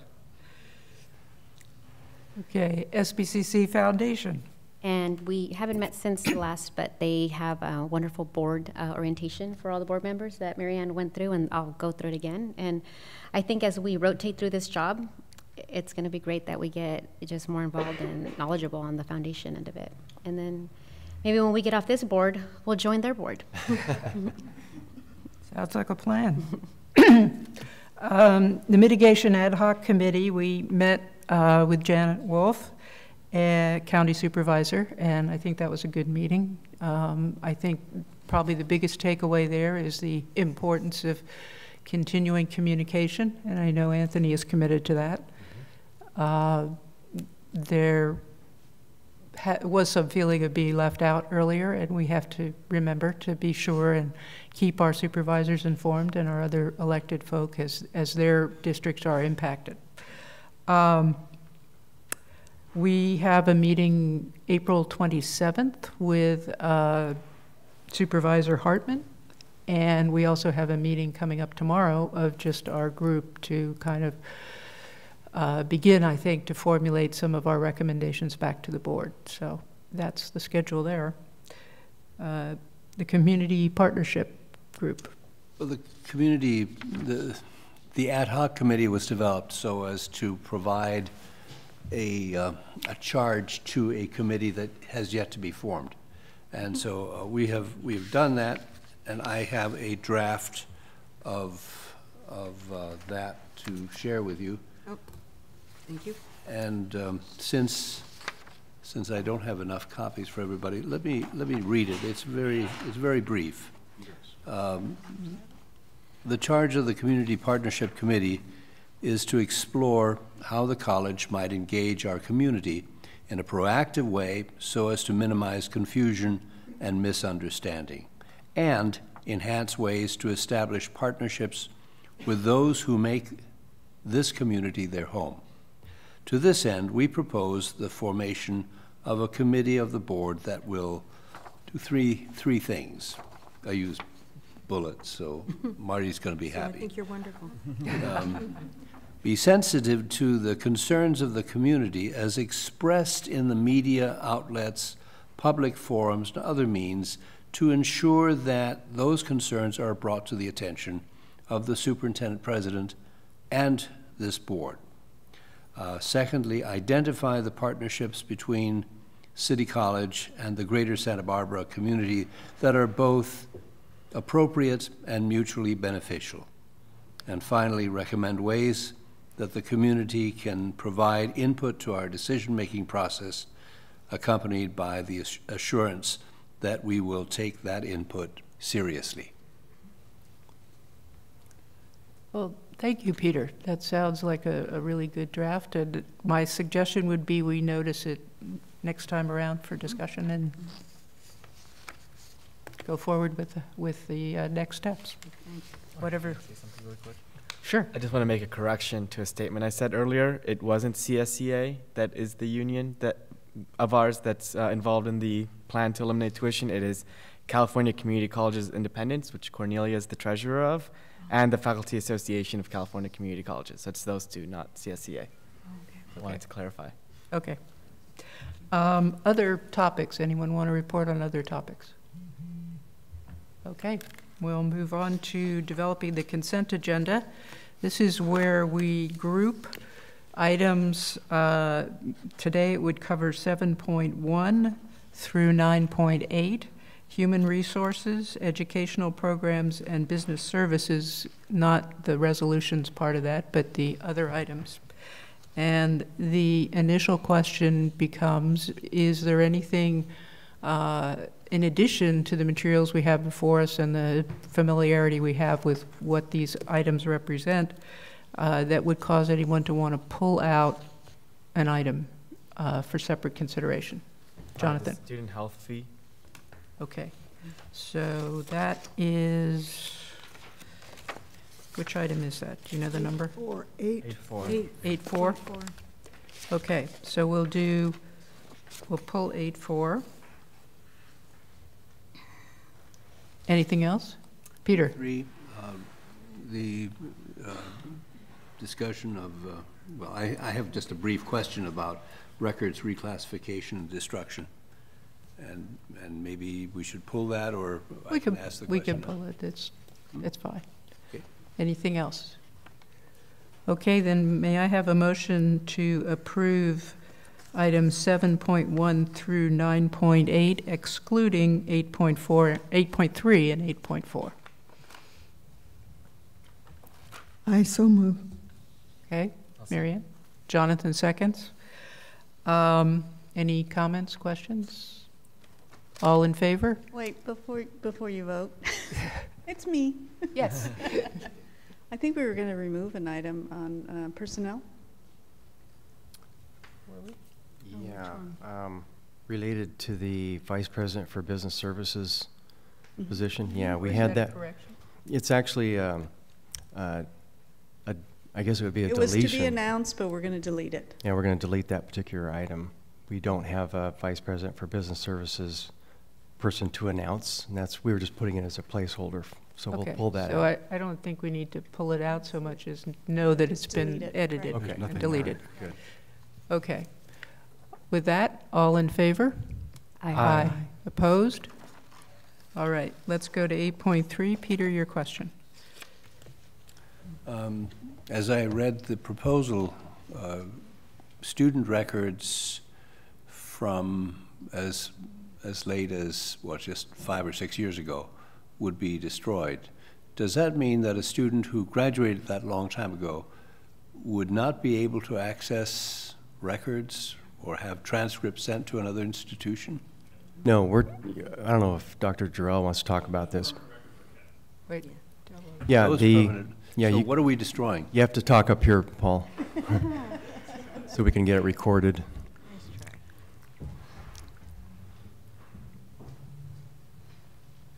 These might have been records that pertain to a, a particular grade, a spreadsheet that someone turned in, something that was specific about a particular uh, uh, petition that a, a student uh, submitted.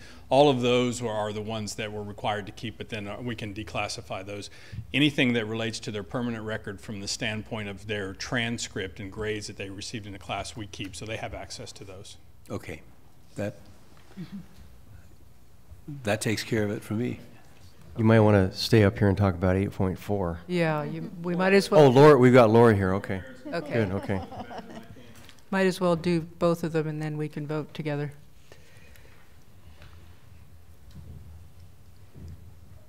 Laura Ferris, thank you for being here. Appreciate that. Jonathan, did you? I'm Laura Ferris. I'm the Director of Student Health and Wellness at Santa Barbara City College. And I'm very happy to be here to speak on behalf of the wonderful services that we provide. Our funding is from the student health fee, and that fee is set, the cap is set by the chancellor's office. And when it's sort of like a cost of living raise, when the cost of services that we do, our salaries, our medical supplies, all those things, when that is goes high enough, the chancellor will say, you can raise the student health fee a dollar. We're now at $19 a semester. I'm and asking for 20, and the chancellor's office has um, proposed that. We were sort of behind in summer tuition, and we haven't raised that since 2008. I'm I was happy to present at the Student Senate about a week and a half ago, and I'd love to do the same presentation here sometime about our services. I love data. I have lots of great data. and um, they supported the raise. They voted last Friday and supported it, and also had a wonderful um, the, the channels came out in support of the increase in the fee. So I'm here to be a part of this democratic process and to say how proud I am of the mental health services we provide. Um, just one little bit of data that I think is pretty amazing is I belong to a statewide um, group of the California Community Colleges Health Services, and we do a survey every year, and the average California Community College provides 440 individual mental health counseling um, uh, sessions a year, and we provide 2,000. So we're we're really at the peak of, of the game, and so I'm just here to to be proud of my staff and my services and ask you to support this fee increase. Thank you, Laura. I think we had a specific question about it. John. Yeah, oh yeah, my question's not about the fee. Um, it's about the second part of the proposal that says that the fee will increase automatically oh, uh, okay. uh, whenever the maximum mm-hmm. is raised. So I was just, me personally, I think the board should just be, even if we're going to do it, I think it should just still come to a vote just for transparency reasons and you know the democratic process. So that's, I think the fee increase is fine. I just have a problem with uh, making it automatic. I think other community colleges, I don't have that data, but I think it's about half have an automatic fee raise. And that's because it's cost of living. It's just what it costs to provide salaries and medical supplies and all those things is constantly going up. And so it's not really an increase of I'm going to, the program's going to get more money. It's just that we can provide the same services and not fall behind. And those numbers are on our website when students look at what they will need to pay to come?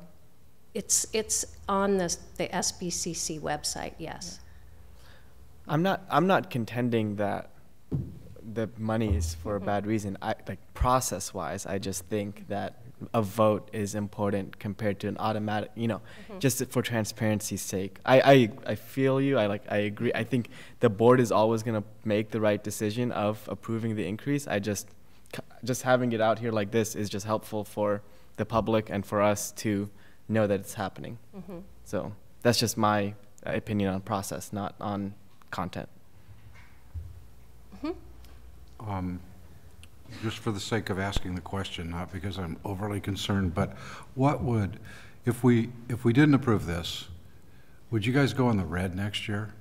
Well, that's, we, we're, I'm nervous because of falling, uh, falling numbers of students. Just for example, uh, 1,600 le- fewer students from fall to this semester. That's about $30,000 in my program.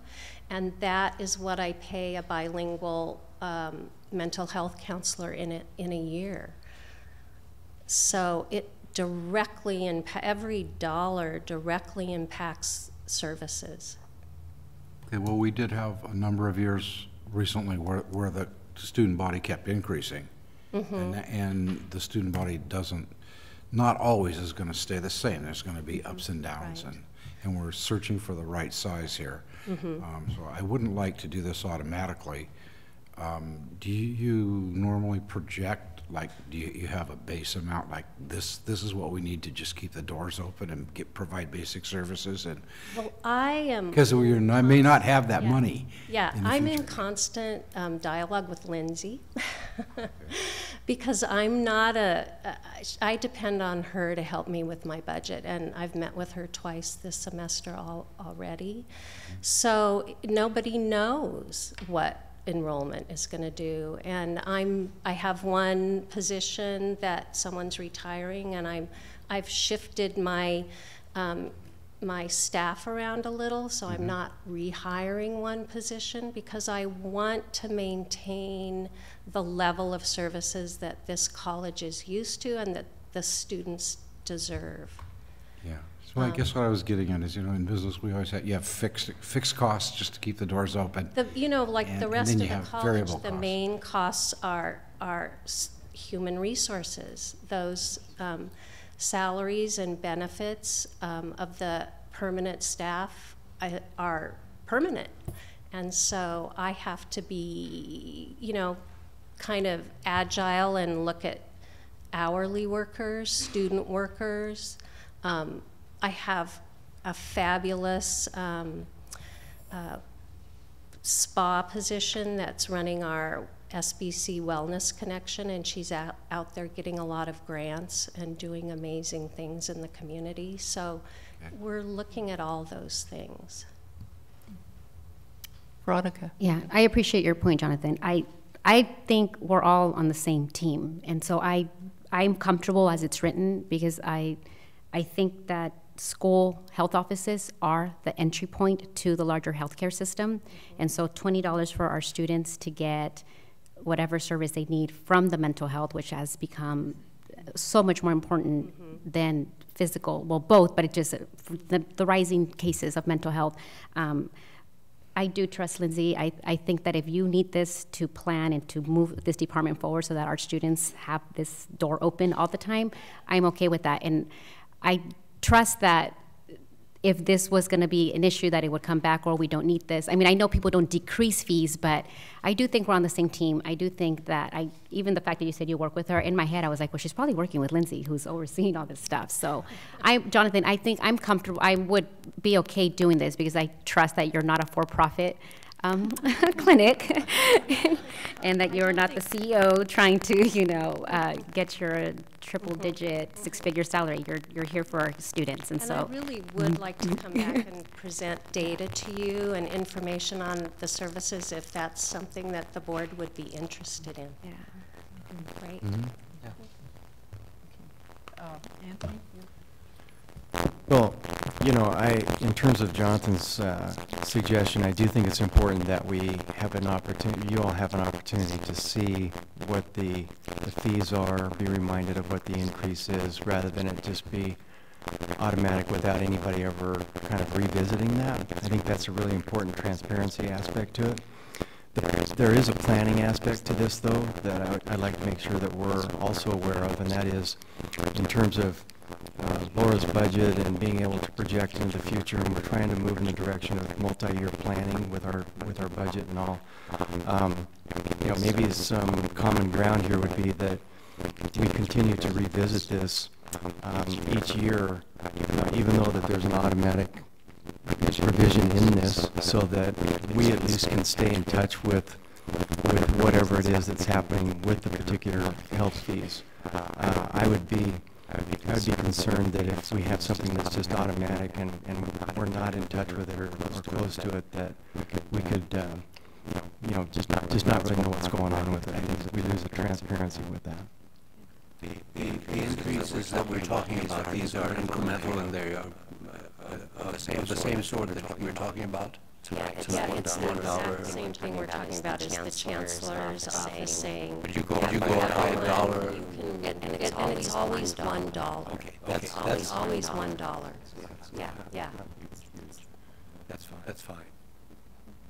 And I think, and I think, I think, I think, Jonathan, your, your objection is taken care of by the fact that it's gonna be, it's gonna be revealed to us on an annual basis.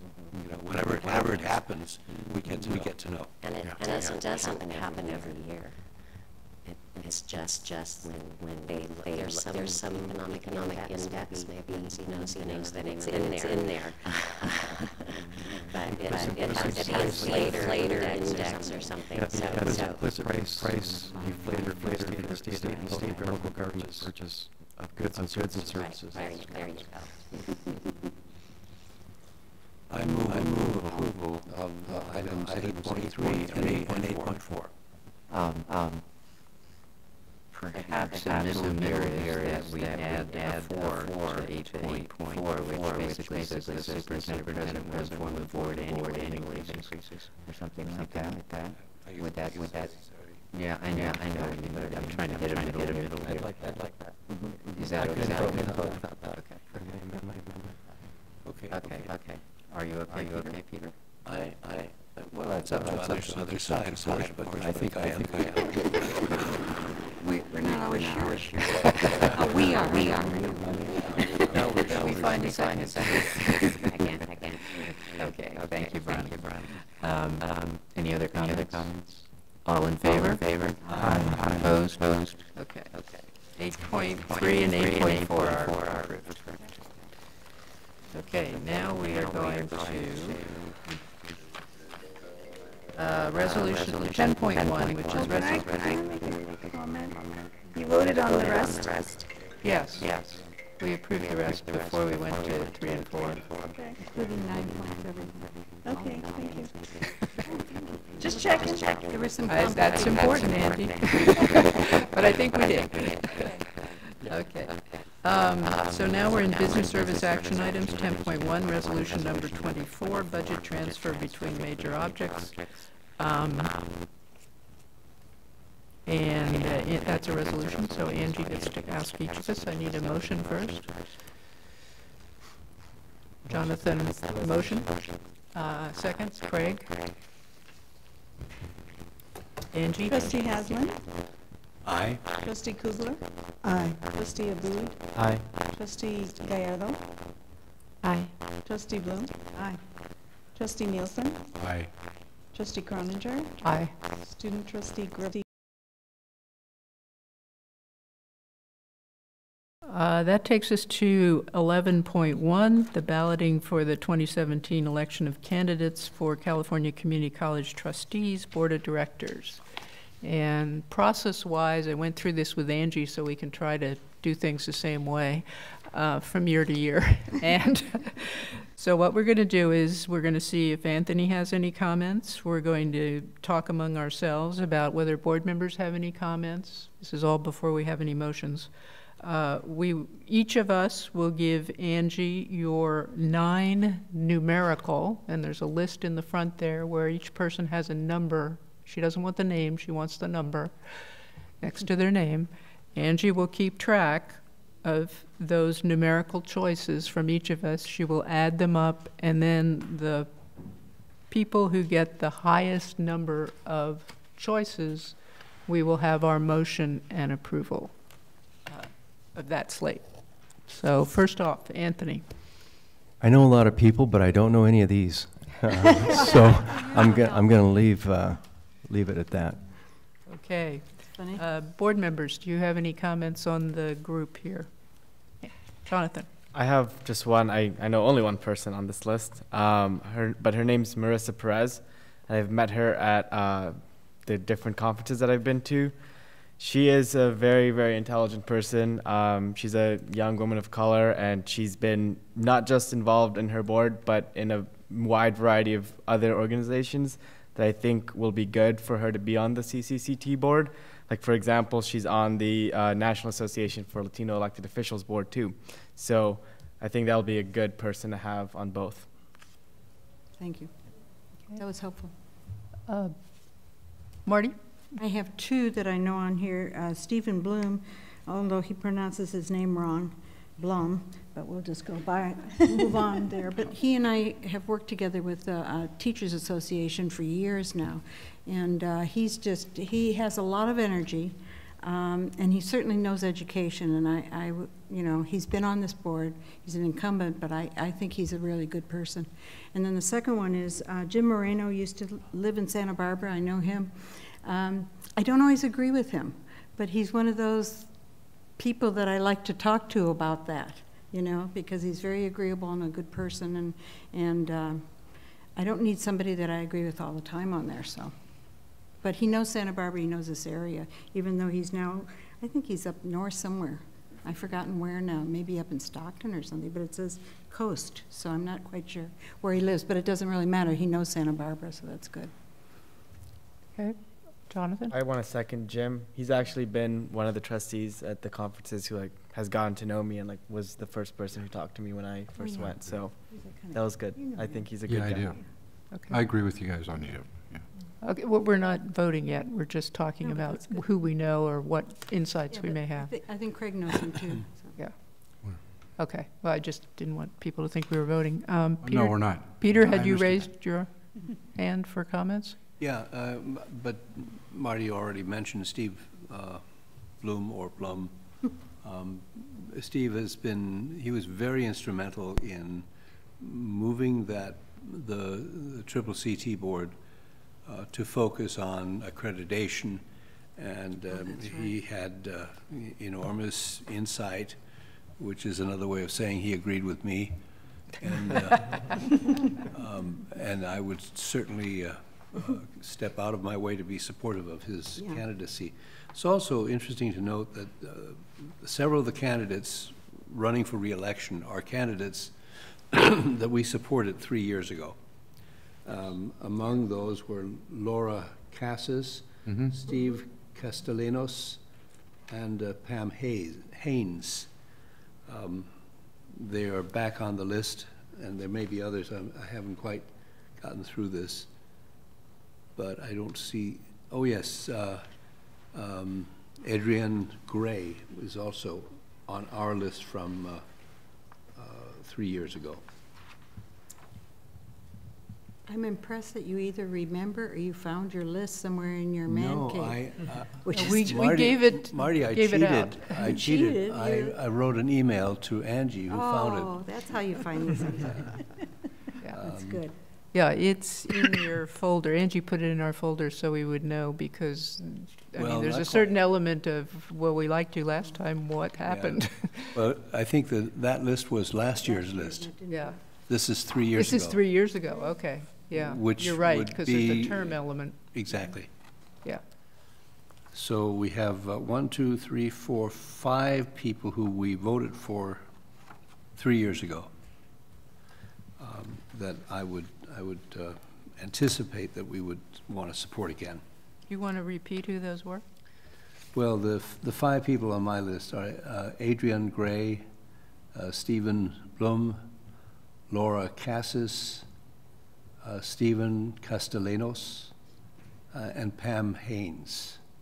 I think you left off Loren Steck, didn't we? We did last year. I don't Last know year why we he's voted up. for her, uh, yeah. Oh, actually, I do know why, because he's not an incumbent, so we did support, and I believe, at least in part, that had to do with the similarity of the issues that Monterey faces, that we face. um, as, as a college, you know, coastal town and relatively similar sizes. So, um, and there are a lot of factors here in terms of trying to achieve balance in viewpoint, balance in college size, Mhm. and balance in what looks like people have issues that we're interested in. So, I, I did have a question on timing. I mean, is it essential that we vote today? um, I understood that this was due in uh, mid-April. between March 10 and April 25th. Mhm. Yeah. Is it a problem? Well, I would, I would like to have a little more time to read the, the documentation uh, that represents each individual. Um, I'm, I don't feel I've given it sufficient time.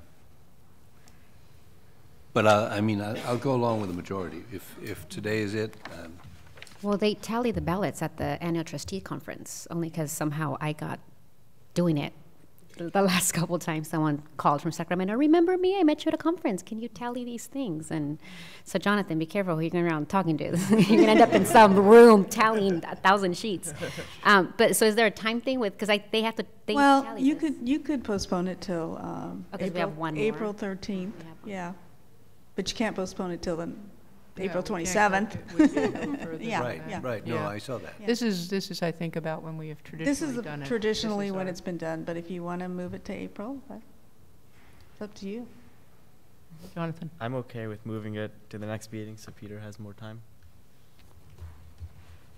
Is everybody else ready? In, in which case, I don't want to hold anything up. If you're ready, let's do it. If you are, like me, needing a little more time, let's postpone it. Oh, it's a labor of love. If anybody's willing to do their school term plus the triple C cheat term again, I mean, it's nonpartisan public service. You got to love community colleges to do this gig. And I think these folks do. I mean, uh, these names, I recognize them because I tallied every single thing and I recognize the names. Um, I, I, I hope that this Loren Steck gal gets in because she's in Monterey. It's like in the middle. And so you have a lot of like Southern Cal and NorCal, and so it's just like if we have 112 colleges, the way I looked at it was let's distribute the geography is kind of what I was thinking. Mhm.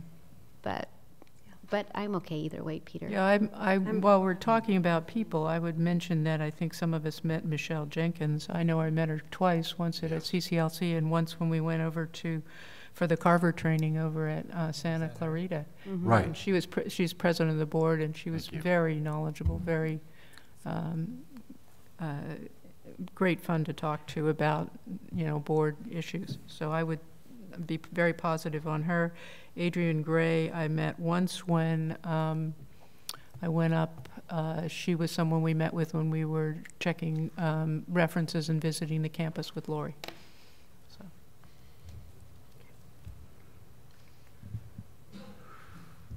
So I don't know. I mean, I'm ready, but I I'm not wedded. Others? I don't know if we, you can ever get totally ready for this. You could pick out a couple people that you know or that you're really familiar with, they, where they stand. But, you know, it's almost like, you, you do your, you do the best you can. And, uh, I read the statements and I reread them again this afternoon before I got here. I, I don't, I, I don't mind delaying, but we're gonna have to do this. If not now, we gotta do it in a couple of weeks, so it's, it doesn't matter. Uh, I move to table until next meeting, this decision. I'll second that. Okay. Okay. All in favor? Aye. Aye. Opposed? Oh, I'm sorry, Emily. Do I get a vote on this? I think so. It does Hey. mention student trustees. It does Bill, mention I think it's the, like the other ones. is just like everything sense. else. Yeah, it's It's- advisory. It's an um, advisory Okay, vote. I can say, okay. Yeah, Yeah. it's an advisory. I didn't know if I. Yeah, I think, Should I don't good think. question, because if you don't ask, you don't know. But you certainly can comment if there's someone you know or have information about that you think we should know. Nope, nope, not. Okay. Well, we have Jonathan's motion to put it off next time. I will say we're going to have to try to be fairly efficient, not that we haven't been running pretty long today, but um, we'll have stuff to do next time too. So um, let's be ready to go and do it efficiently. And all in favor? Aye. Aye. Opposed? Okay. It will reappear. Okay. And you'll have another thick packet. And Peter, don't say we don't do anything for you. That's, I, I appreciate that so much, Marsha. Um, We have covered 12.1, um, budget development timeline. Uh, Anthony and I had a discussion about this timeline, which is your last piece of paper. Um, It's adapted from the one last year, I believe, but we used to have our fiscal committee looking at the budget at certain points. And um, what we agreed on was moving up a couple of dates for the board to see uh, revenue and expenses earlier in the tentative budget. So we moved that one up to April 27th, which was formerly May 11th. Um, so we'll have a sooner to, to look at the kind of base, the basics of how it's looking. Um, and we also went to August 10th, which is earlier again, for seeing how the final budget is. Now, usually that doesn't change as much, but um, who knows? There may be issues. And we are um, looking at, for the first time, really doing more long-range planning in the budget here, so there'll be more to talk about in that regard. Uh, and Lindsay is nodding happily, or not so happily. May Anthony. I com- comment? Yeah. Um, my concern was I, I just and and it worked out that uh, we have proper time to be able to present to CPC and and uh, the internal college campus before we bring it to you all, and this works out that way. So, uh, I'd be in favor of of this. Yeah, CPC sees it first still in all cases, so um, it seemed to work, the schedule seemed to work fine.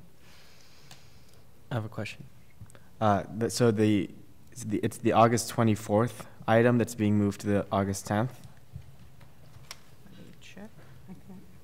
Yes. Okay, and then it's the May 11th that's being moved to April 27th?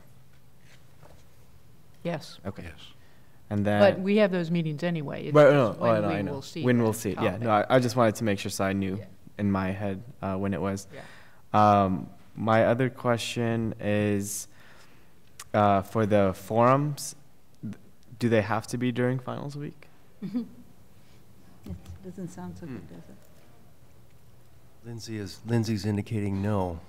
Because it says two dates during week of finals. So I, it seems like it might, you know, this budget, I don't want to say controversial, but it's might be a lot in it based on what we've been learning at our meetings. So maybe one not during finals week so students can fully participate if they wanted to. And the rest of the campus? And the rest of the campus, yeah. So we're we're getting indication that there's no problem changing that. Um, any p- proposed date? Okay. Oh, a proposed date? No, I don't, I don't know what's, I think you best, guys have to decide that's whether you have to- which way to move it because of the work that you need to do to put it together. So we can work on that, and figure that out, make sure it's not conflicting with anything. Yeah, they have to be ready, so it could be that Yeah. that's hard to do any sooner. I don't know. We'll look into that for you. Your issue. Well, and Marsha, I mean, I appreciate, you know, getting things earlier too, but I also know, I mean, I don't think Lindsay has the staff of, of, I don't know. And so I just want to make sure too that you guys feel comfortable saying no. Like, I know you're intelligent and she whips things out so eloquently, but people shouldn't always operate on the I'm whipping things out every day of my job. And so I hope that, Dr. Beebe, you feel comfortable saying to us no.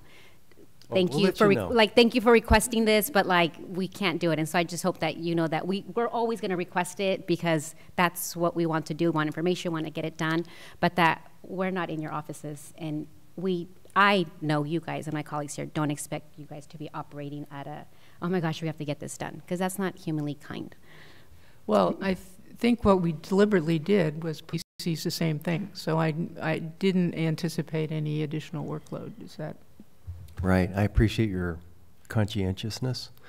Um, But I think these dates really do fit into our normal operations, so I don't think it's going to be any kind of a stretch, and Lindsay would definitely be telling me if it was. Huh? Not thrilled, but we'll do it. Okay, so now she's backing up a little bit.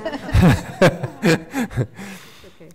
So, she's, are you good with this then? I mean, it's going to be okay? If it's, if it's a major problem, I mean, we'll come back. I mean, we'll look at it in detail. Take a detail. moment to think about it, because we really want you to be thrilled. At six fifteen. I think Peter took a happy pill. today. Yeah, I Okay. Okay.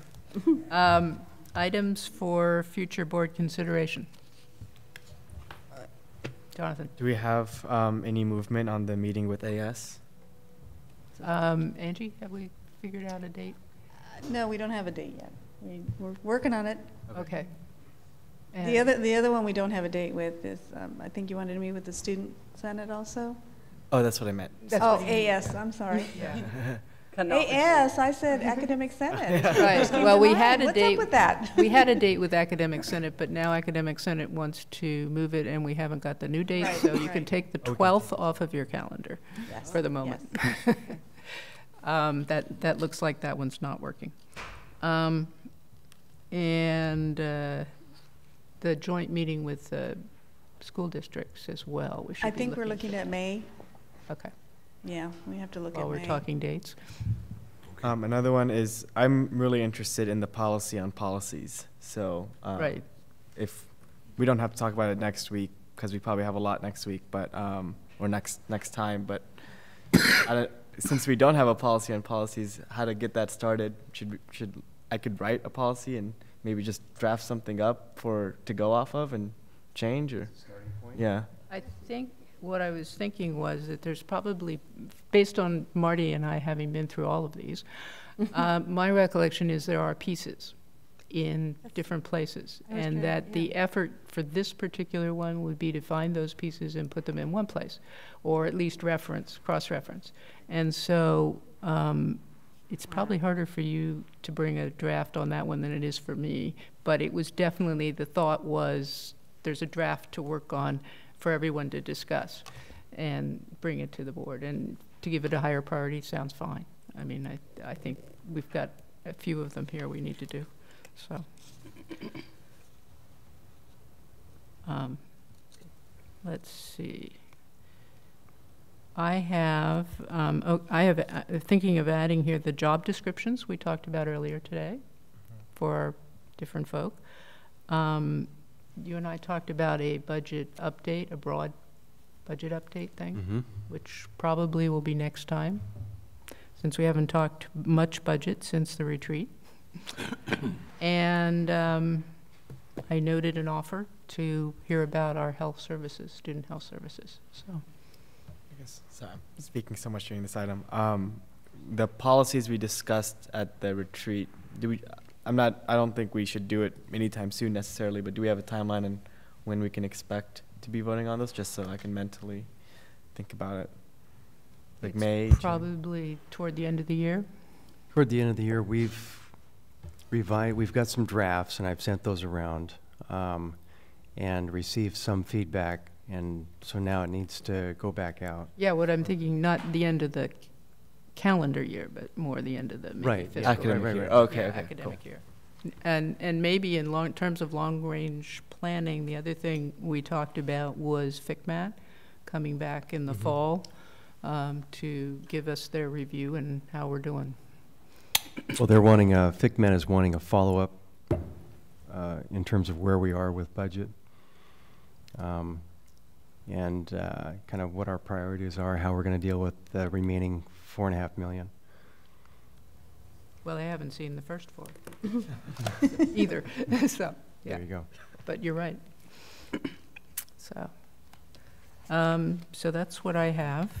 Uh, Oh, Emily, I'm sorry. Uh, I would like to add maybe the reading of the board policy that the ASG has uh, sent on to us regarding gender neutral um, restrooms on campus. I think if we could have that as discussion, uh, potential action item.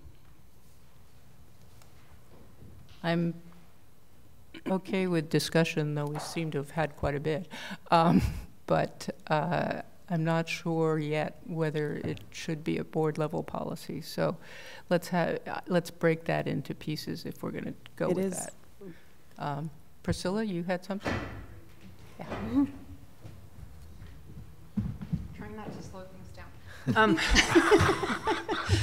So I just wanted to mention that we have a process for the development of any board policies, and we have a committee, BPAP, which looks at them, it goes to all governance groups. So for a policy to come from one group directly to the board would be highly unusual and out of our normal procedure. Well, you're right, Priscilla, and I'm glad you reminded us of that. Thank you. Because, um, I mean, the one, the policies that the board talked about and developed in draft from the retreat related to fiscal matters, which will go to BPAP and will go through that process. Um, but it does make sense for that kind of policy. I mean, from my perspective, there's money involved here, there's priorities, there's choices, so, you know, all the usual groups should, should have some input, and I think that's what we talked about today, was that there's a broad spectrum of viewpoints and input. So what does Emily do with that uh, board policy draft? Does she give it to, Um, um, Priscilla, do you want to run through the steps? You're the, Uh, you're the You don't have to run through all of it, but where Or does it go next, so she knows, that's all. Pat is uh, an expert as well. Sorry, Lindsay. So Pat is the lead of BPAP, so she would bring it to the BPAP committee, and the governance groups would decide if it needs to go for more extensive discussion to each of those groups. If it does, then it comes back to BPAP with the feedback. So it's either a single step or a multi-step process, depending, and I'm guessing this is multi-step. Okay. Okay. And it might be part of the education that we were talking about, so that works. Yeah, absolutely. Good. I, Thank you. I just want to say, I don't know that we're at the policy level yet, because I don't think that what Liz mentioned has happened yet. The conversations, the talking, the, the fact that we serve a district from Carpinteria all the way to Gaviota. I- I don't know how we can talk about a policy, because you would think that you would shape a policy based on what your community input is. And so I don't know that the classified staff has had time to talk, that, that anybody on campus has had time to talk about any of this stuff, that our students had had the time for everybody to have these conversations, which I think is really important. Yeah. No, it's, it's a good point. Um, I think that what Priscilla was describing provides for that, some of that conversation, though not the community aspect of it, and, and that's a good point. Um, but it reminds me that I also have this concern about whether it's a board level policy. Um, and so that sort of feeds into the whole question. I'd hate to have everybody work up a policy and then we decide it's not, it, it's too micromanaging, it's too involved in the day-to-day operations of the college. It- It's just to be fair so that everybody can, you know, I, I guess I think of that incident that was on campus, the, the teepee. Uh, That, that was like a, you know, when we learned about that and, um, that was, I mean, we learned about it through email and we didn't get involved and Dr. Gaskin did a great job with everybody taking care of it. But the fact that as trustees, we were learning of such a emotional, very sensitive subject through the lens of the media, and just through the emails we got, you know, that part of it is, it's, we don't want that. We want everybody to have conversations that are respectful, that are knowledgeable, and um, and that honor the district, which is Carpinteria all the way through Gaviota, and it's, it's a, a, a wider audience than comes to our campus here. And, yeah, and it shouldn't be a surprise to that, to our community. Yeah, I, I need a lot more feedback from different groups and different segments. And then I got to think hard about, um, you know, if we have to do a policy on this, if that becomes apparent, and I, I agree with you, Marsha, so far that I think it's got to us way prematurely, although we do need to be aware. I, um, I'm thinking about, you know, my actual district within the district, the area that I represent you know, and um, I don't know all of them, but I know I know quite a few people in my neighborhoods, and um, you know, they're they're the the opinions are not what I heard today. I'm not saying what my opinion is, because my responsibility is not just to that area, to to those constituents, it's to these students and to this institution, mostly the students and the people that are paying the bills. So I, you know, I think there's a lot more sides to this issue that, that we need to really take into effect and listen to equally.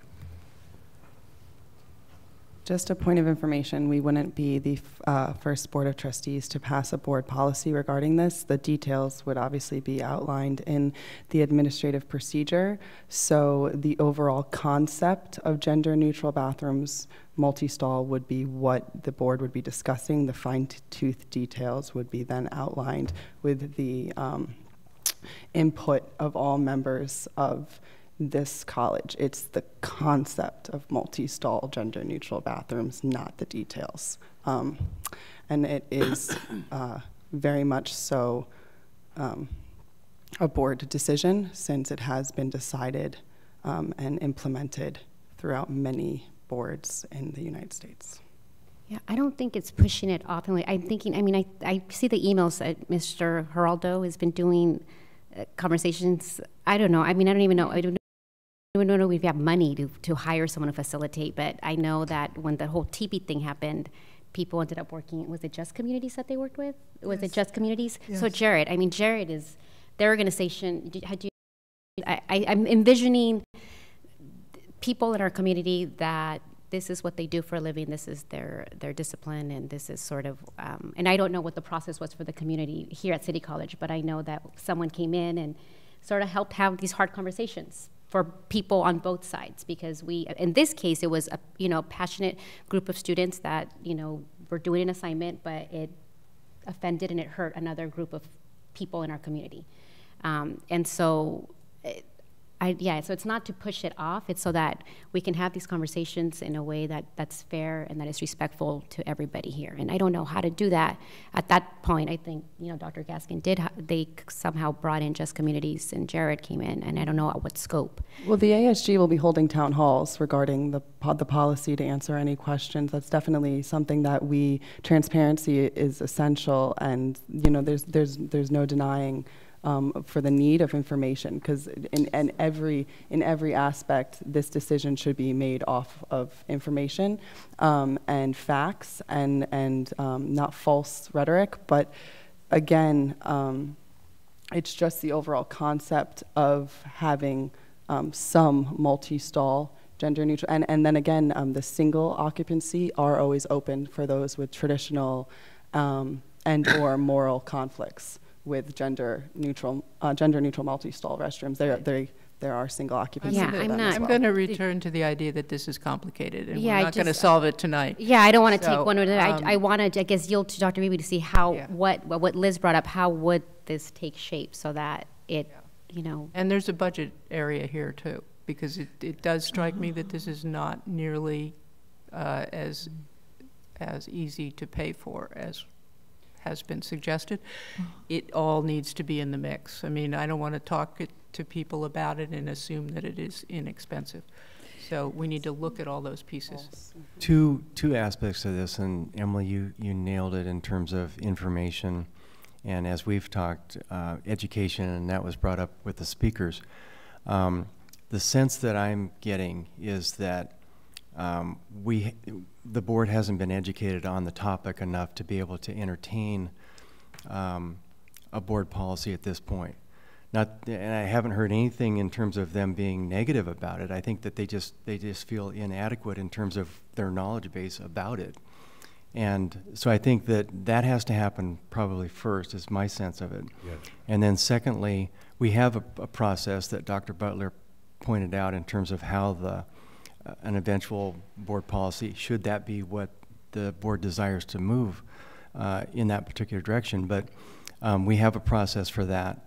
Um, it, I don't get the sense that anybody's ready for that at this point, but we have a process to be able to make that happen should they uh, choose to move that direction. And when you're talking about informing the board, are we talking about as well the community aspect of that?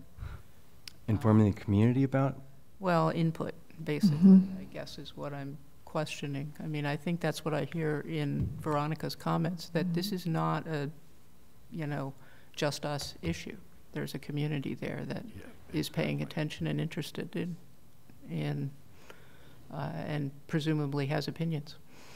Well, that'd be a process that we'd have to define. Yeah, it's not something we normally do, right. but it might be appropriate. Peter. I think you're exactly right on the notion that uh, I don't think anybody here is necessarily opposed to the suggestion. We, we are interested in seeing how it'll work. Uh, there are concerns. We should take those seriously.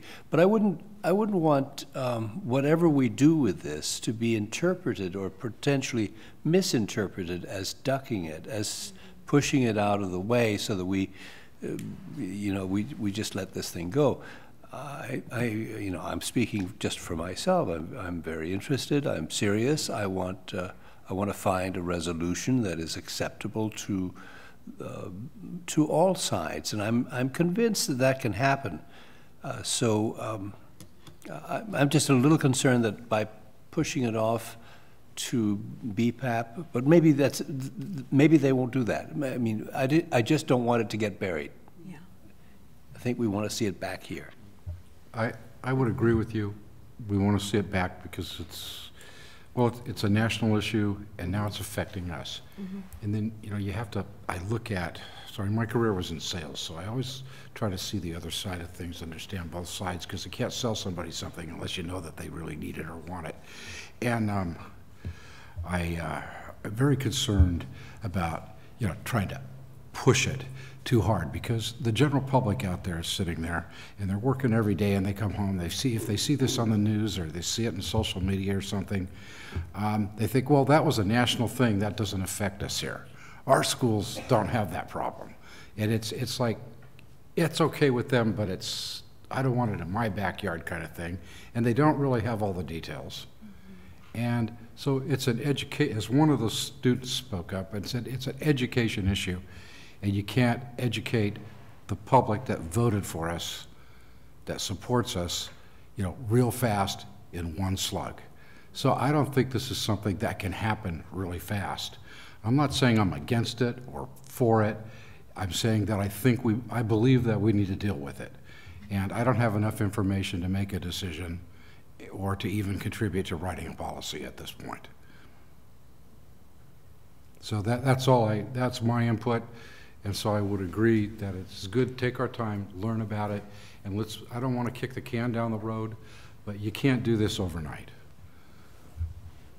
All I want to say is that I think this conversation is a good indication of why we need a policy on policies, because then it provides a clear path of how we interact with BPAP, how if a trustee has an idea, like what happens, because right now it is unclear, and I think that might be causing tension, is, you know, AS made this policy recommendation, Emily is on our board and wants to push it, and she can submit it to BPAP, but it's not, you know, it's not publicly clear what happens and when it happens and how it gets to us, or whether we talk about it first, then it goes to BPAP, or BPAP talk, like, or we talk about it generally, then, it, you know, there are so many little things that it's confusing people. Yeah, but I, I think, I think what the, the key is here is, is not, is keep it simple, we're talking about it, we're gonna watch it, we're gonna talk to other people as much, well, we can, can't talk to each other so much about it, but we can talk to others, and we could talk to Dr. Beebe, and, uh, we're not kicking the can down the road, we're, we're gonna look at it carefully, we're gonna try to study it, and, I'm sorry, we can't do it in a week,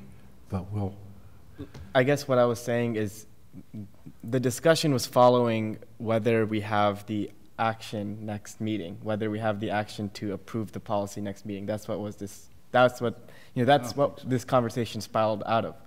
What I'm saying is if we had a clear policy on policies, then it would be clear what we would be discussing next week. Maybe we're not voting on it next week, but we could discuss general parameters of a policy, then it goes to BPAP, then it goes back to us. I don't know. We don't have a policy on policies. I think Well, you're I- I- we have pieces of it, but I think, I think we can get there, so. I think you're overly optimistic about creating a policy on policy that is Yeah, I don't- clear. I mean, once you have it, I'll, I'll, I'm sure I can find some way of working around it or through it or on the other side. no, that's how you table things, you just, Okay. yeah, you create another path.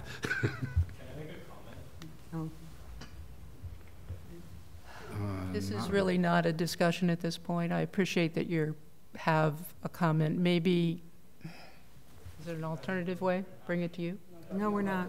No. Not voting. Um, we're, I think we're at the point where we're not going to make it an action item, so.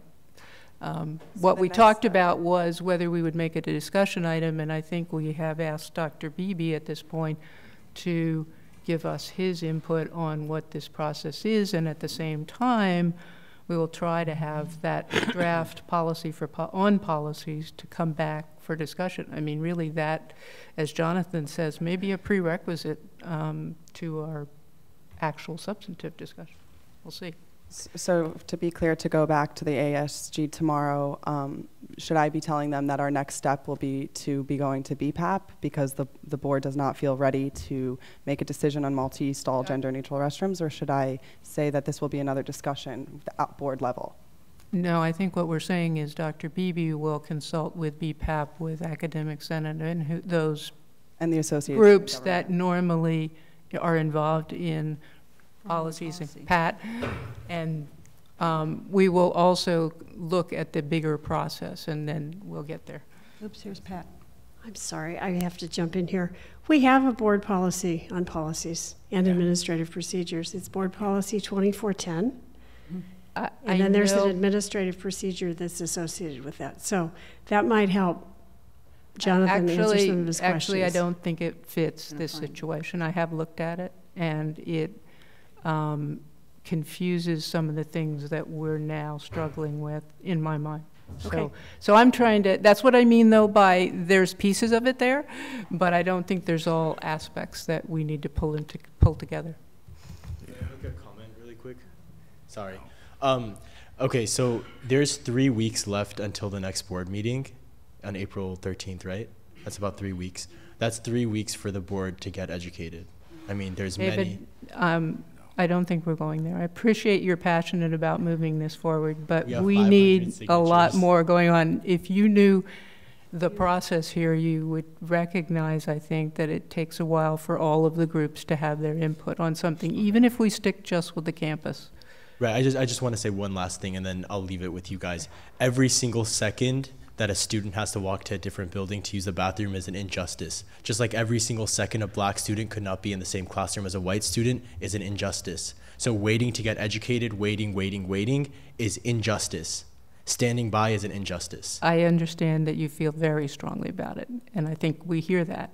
I mean, we should all be feeling we need to hear it, we need to hear all viewpoints. And, and I think there are more viewpoints that we need to incorporate in this process. Can I ask one more question?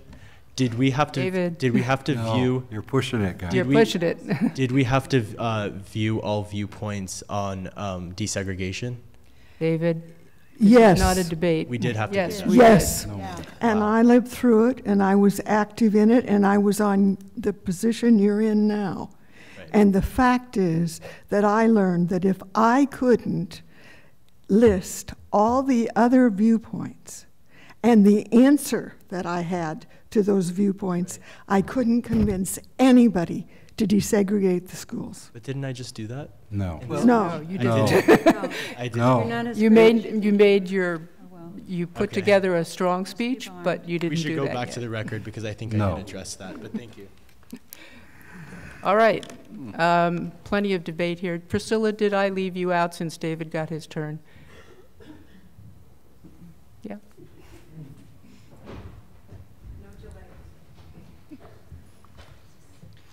No matter what the topic is, or how emotional, or how important it is, I don't think it's a reason to ignore an established process which is in place.